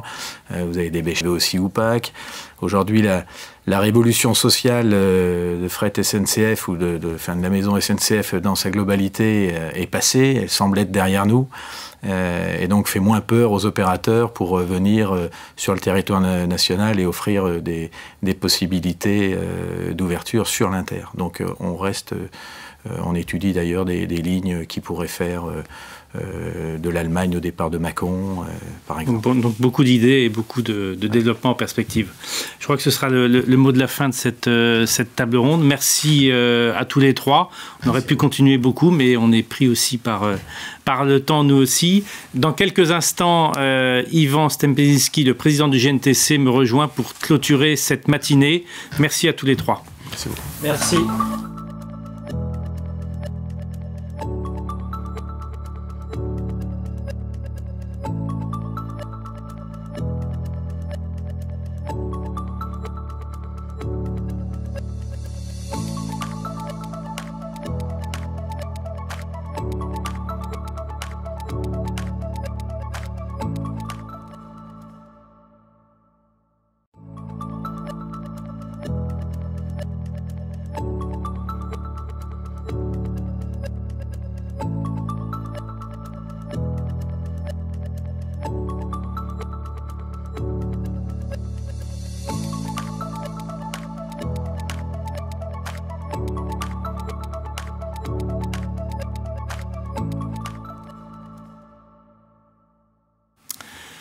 Président, plus de deux heures, on a un tout petit peu dépassé l'horaire plus de deux heures de débat euh, très riche pour faire ce, tour d'horizon. Euh, l'idée, c'était de partir de euh, ce que j'appellerais dans mes termes l'évidence environnementale, en tout cas les, atouts environnementaux du transport combiné, et puis de voir qu'après, le diable est souvent dans les détails et qu'il faut résoudre un certain nombre de choses. les déclarations des uns et des autres confirment qu'il y a un champ immense de développement du transport combiné à condition de résoudre tous ces problèmes? Alors effectivement, les, quatre tables rondes ont montré, euh, avec la qualité des intervenants, euh, la, richesse des sujets qui étaient euh, la préoccupation de chacun. Donc c'est non seulement la partie environnementale, mais la partie sociétale, la partie économique, la, notion, la notion des innovations. On a vu que bon, aujourd'hui, le transport combiné agrégeait énormément de sujets, non seulement sur un constat, un constat sur la, la partie de ce qui est est aujourd'hui en, action, puisque n'oublions pas que nous avons un, mode qui est actif, hein, qui est puissant, qui est dynamique, qui est en progression et qui répond déjà à beaucoup de solutions, mais sans concession, et c'était l'objet de cette, de cette matinée aussi, c'était d'avoir la vision euh, des différents intervenants pour aller plus loin, euh, les, tant sur la partie euh, nationale qu'internationale, sur tous les sujets développés. Donc la partie environnementale est bien sûr un sujet transverse qui préoccupe tout le monde, à titre personnel, à titre, à titre industriel, et des chiffres ont été donnés qui ont, beaucoup d'intérêt, j'estime, euh, quand on parle que sur, en doublant la part modale d'ici 30 ans, euh, d'ici 2030 plutôt, on pourrait économiser 14 à 30 milliards euh, d'externalités négatives. Si on ramène ça par rapport aux 10 milliards d'investissements du plan de relance, on voit qu'on commence déjà, à travers les sujets, à, imaginer des retours sur investissement qui sont tout à fait favorables au développement que l'on prône, que prône à ce jour. Donc la partie, la partie environnementale environnementale est un chapeau, euh, mais sous lequel d'énormes euh, d'énormes idées peuvent, peuvent germer et qui sont tout à fait favorables, on l'a dit aussi, euh, sur la notion d'industrialisation mais de territoire, savoir s'implanter au bon endroit par rapport, par rapport à la terminalistique et aux embranchements. Voilà. Toutes les idées aujourd'hui sont, sont claires, je pense, pour les différents intervenants qui ont été autour de la table lors de cette matinée. Il reste maintenant à définir cela avec avec euh, les institutionnels en termes de priorité de calendrier. Je pense que cette matinée, quasiment un an en anniversaire après la remise du plan 4F à notre ministre de tutelle, plan 4F qui a servi euh, à, alimenter, à nourrir beaucoup de sujets du, plan de relance, il est intéressant de voir qu'un an après, la profession et, extra-profession est groupée encore euh, sur les mêmes sujets, soutenue par les chargeurs, qui demande euh, effectivement à ce que l'on fasse encore et ce que l'on fasse plus.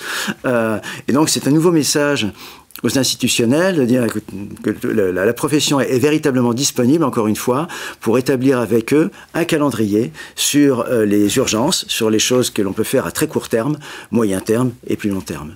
Il y a des mots qui ont été partagés par à peu près tout le monde. visibilité, très fortement depuis Anne-Marie Hydrac euh, jusqu'aux opérateurs. Investissement, c'est un mot qui est revenu aussi beaucoup, et, notamment lors de cette dernière table ronde sur le digital, avec une focalisation très forte. Donc ça veut dire qu'il y a un état d'esprit qui est quand même très favorable aujourd'hui, à condition, encore une fois, que euh, le dialogue avec les institutionnels et avec l'ensemble des partenaires soit fécond. Tout à fait.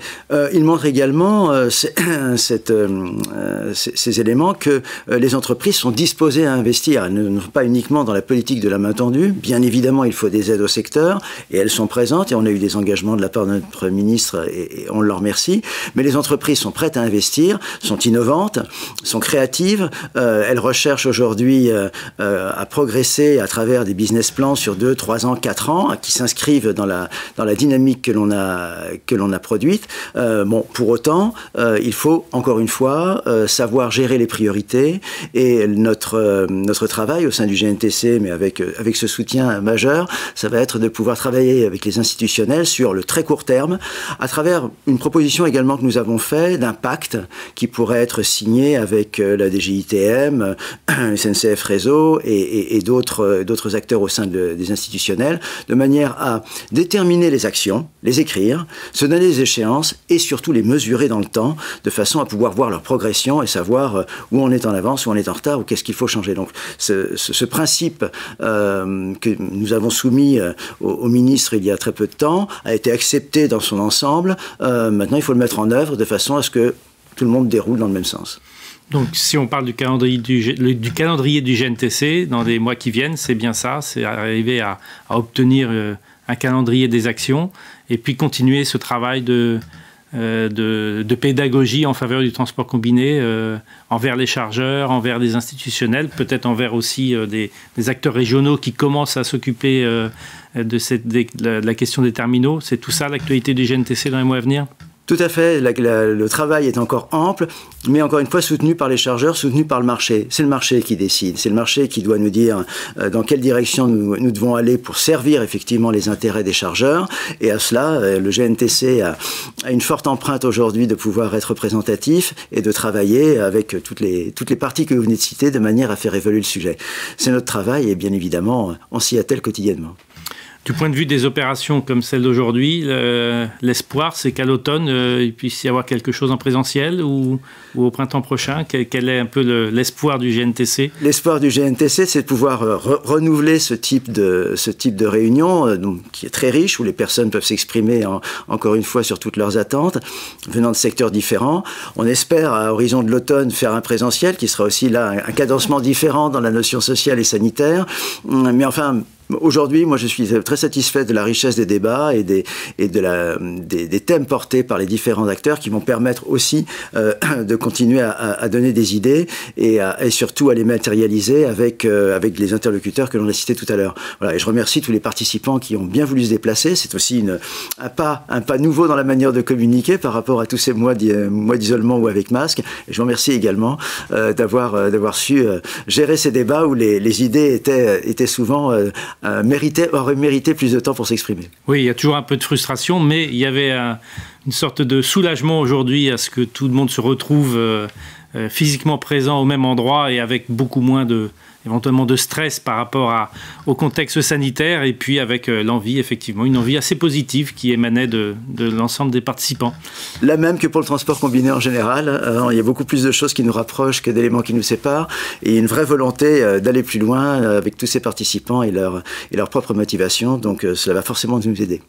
Merci à vous, Président Sembezinski, et puis merci à vous tous qui nous avez accompagnés depuis 10 heures. Désolé pour le léger retard, mais c'était pour la bonne cause du transport sport combiné. Bonne journée à tous et puis à très bientôt, peut-être tous physiquement présents euh, dans, dans, un endroit euh, à Paris.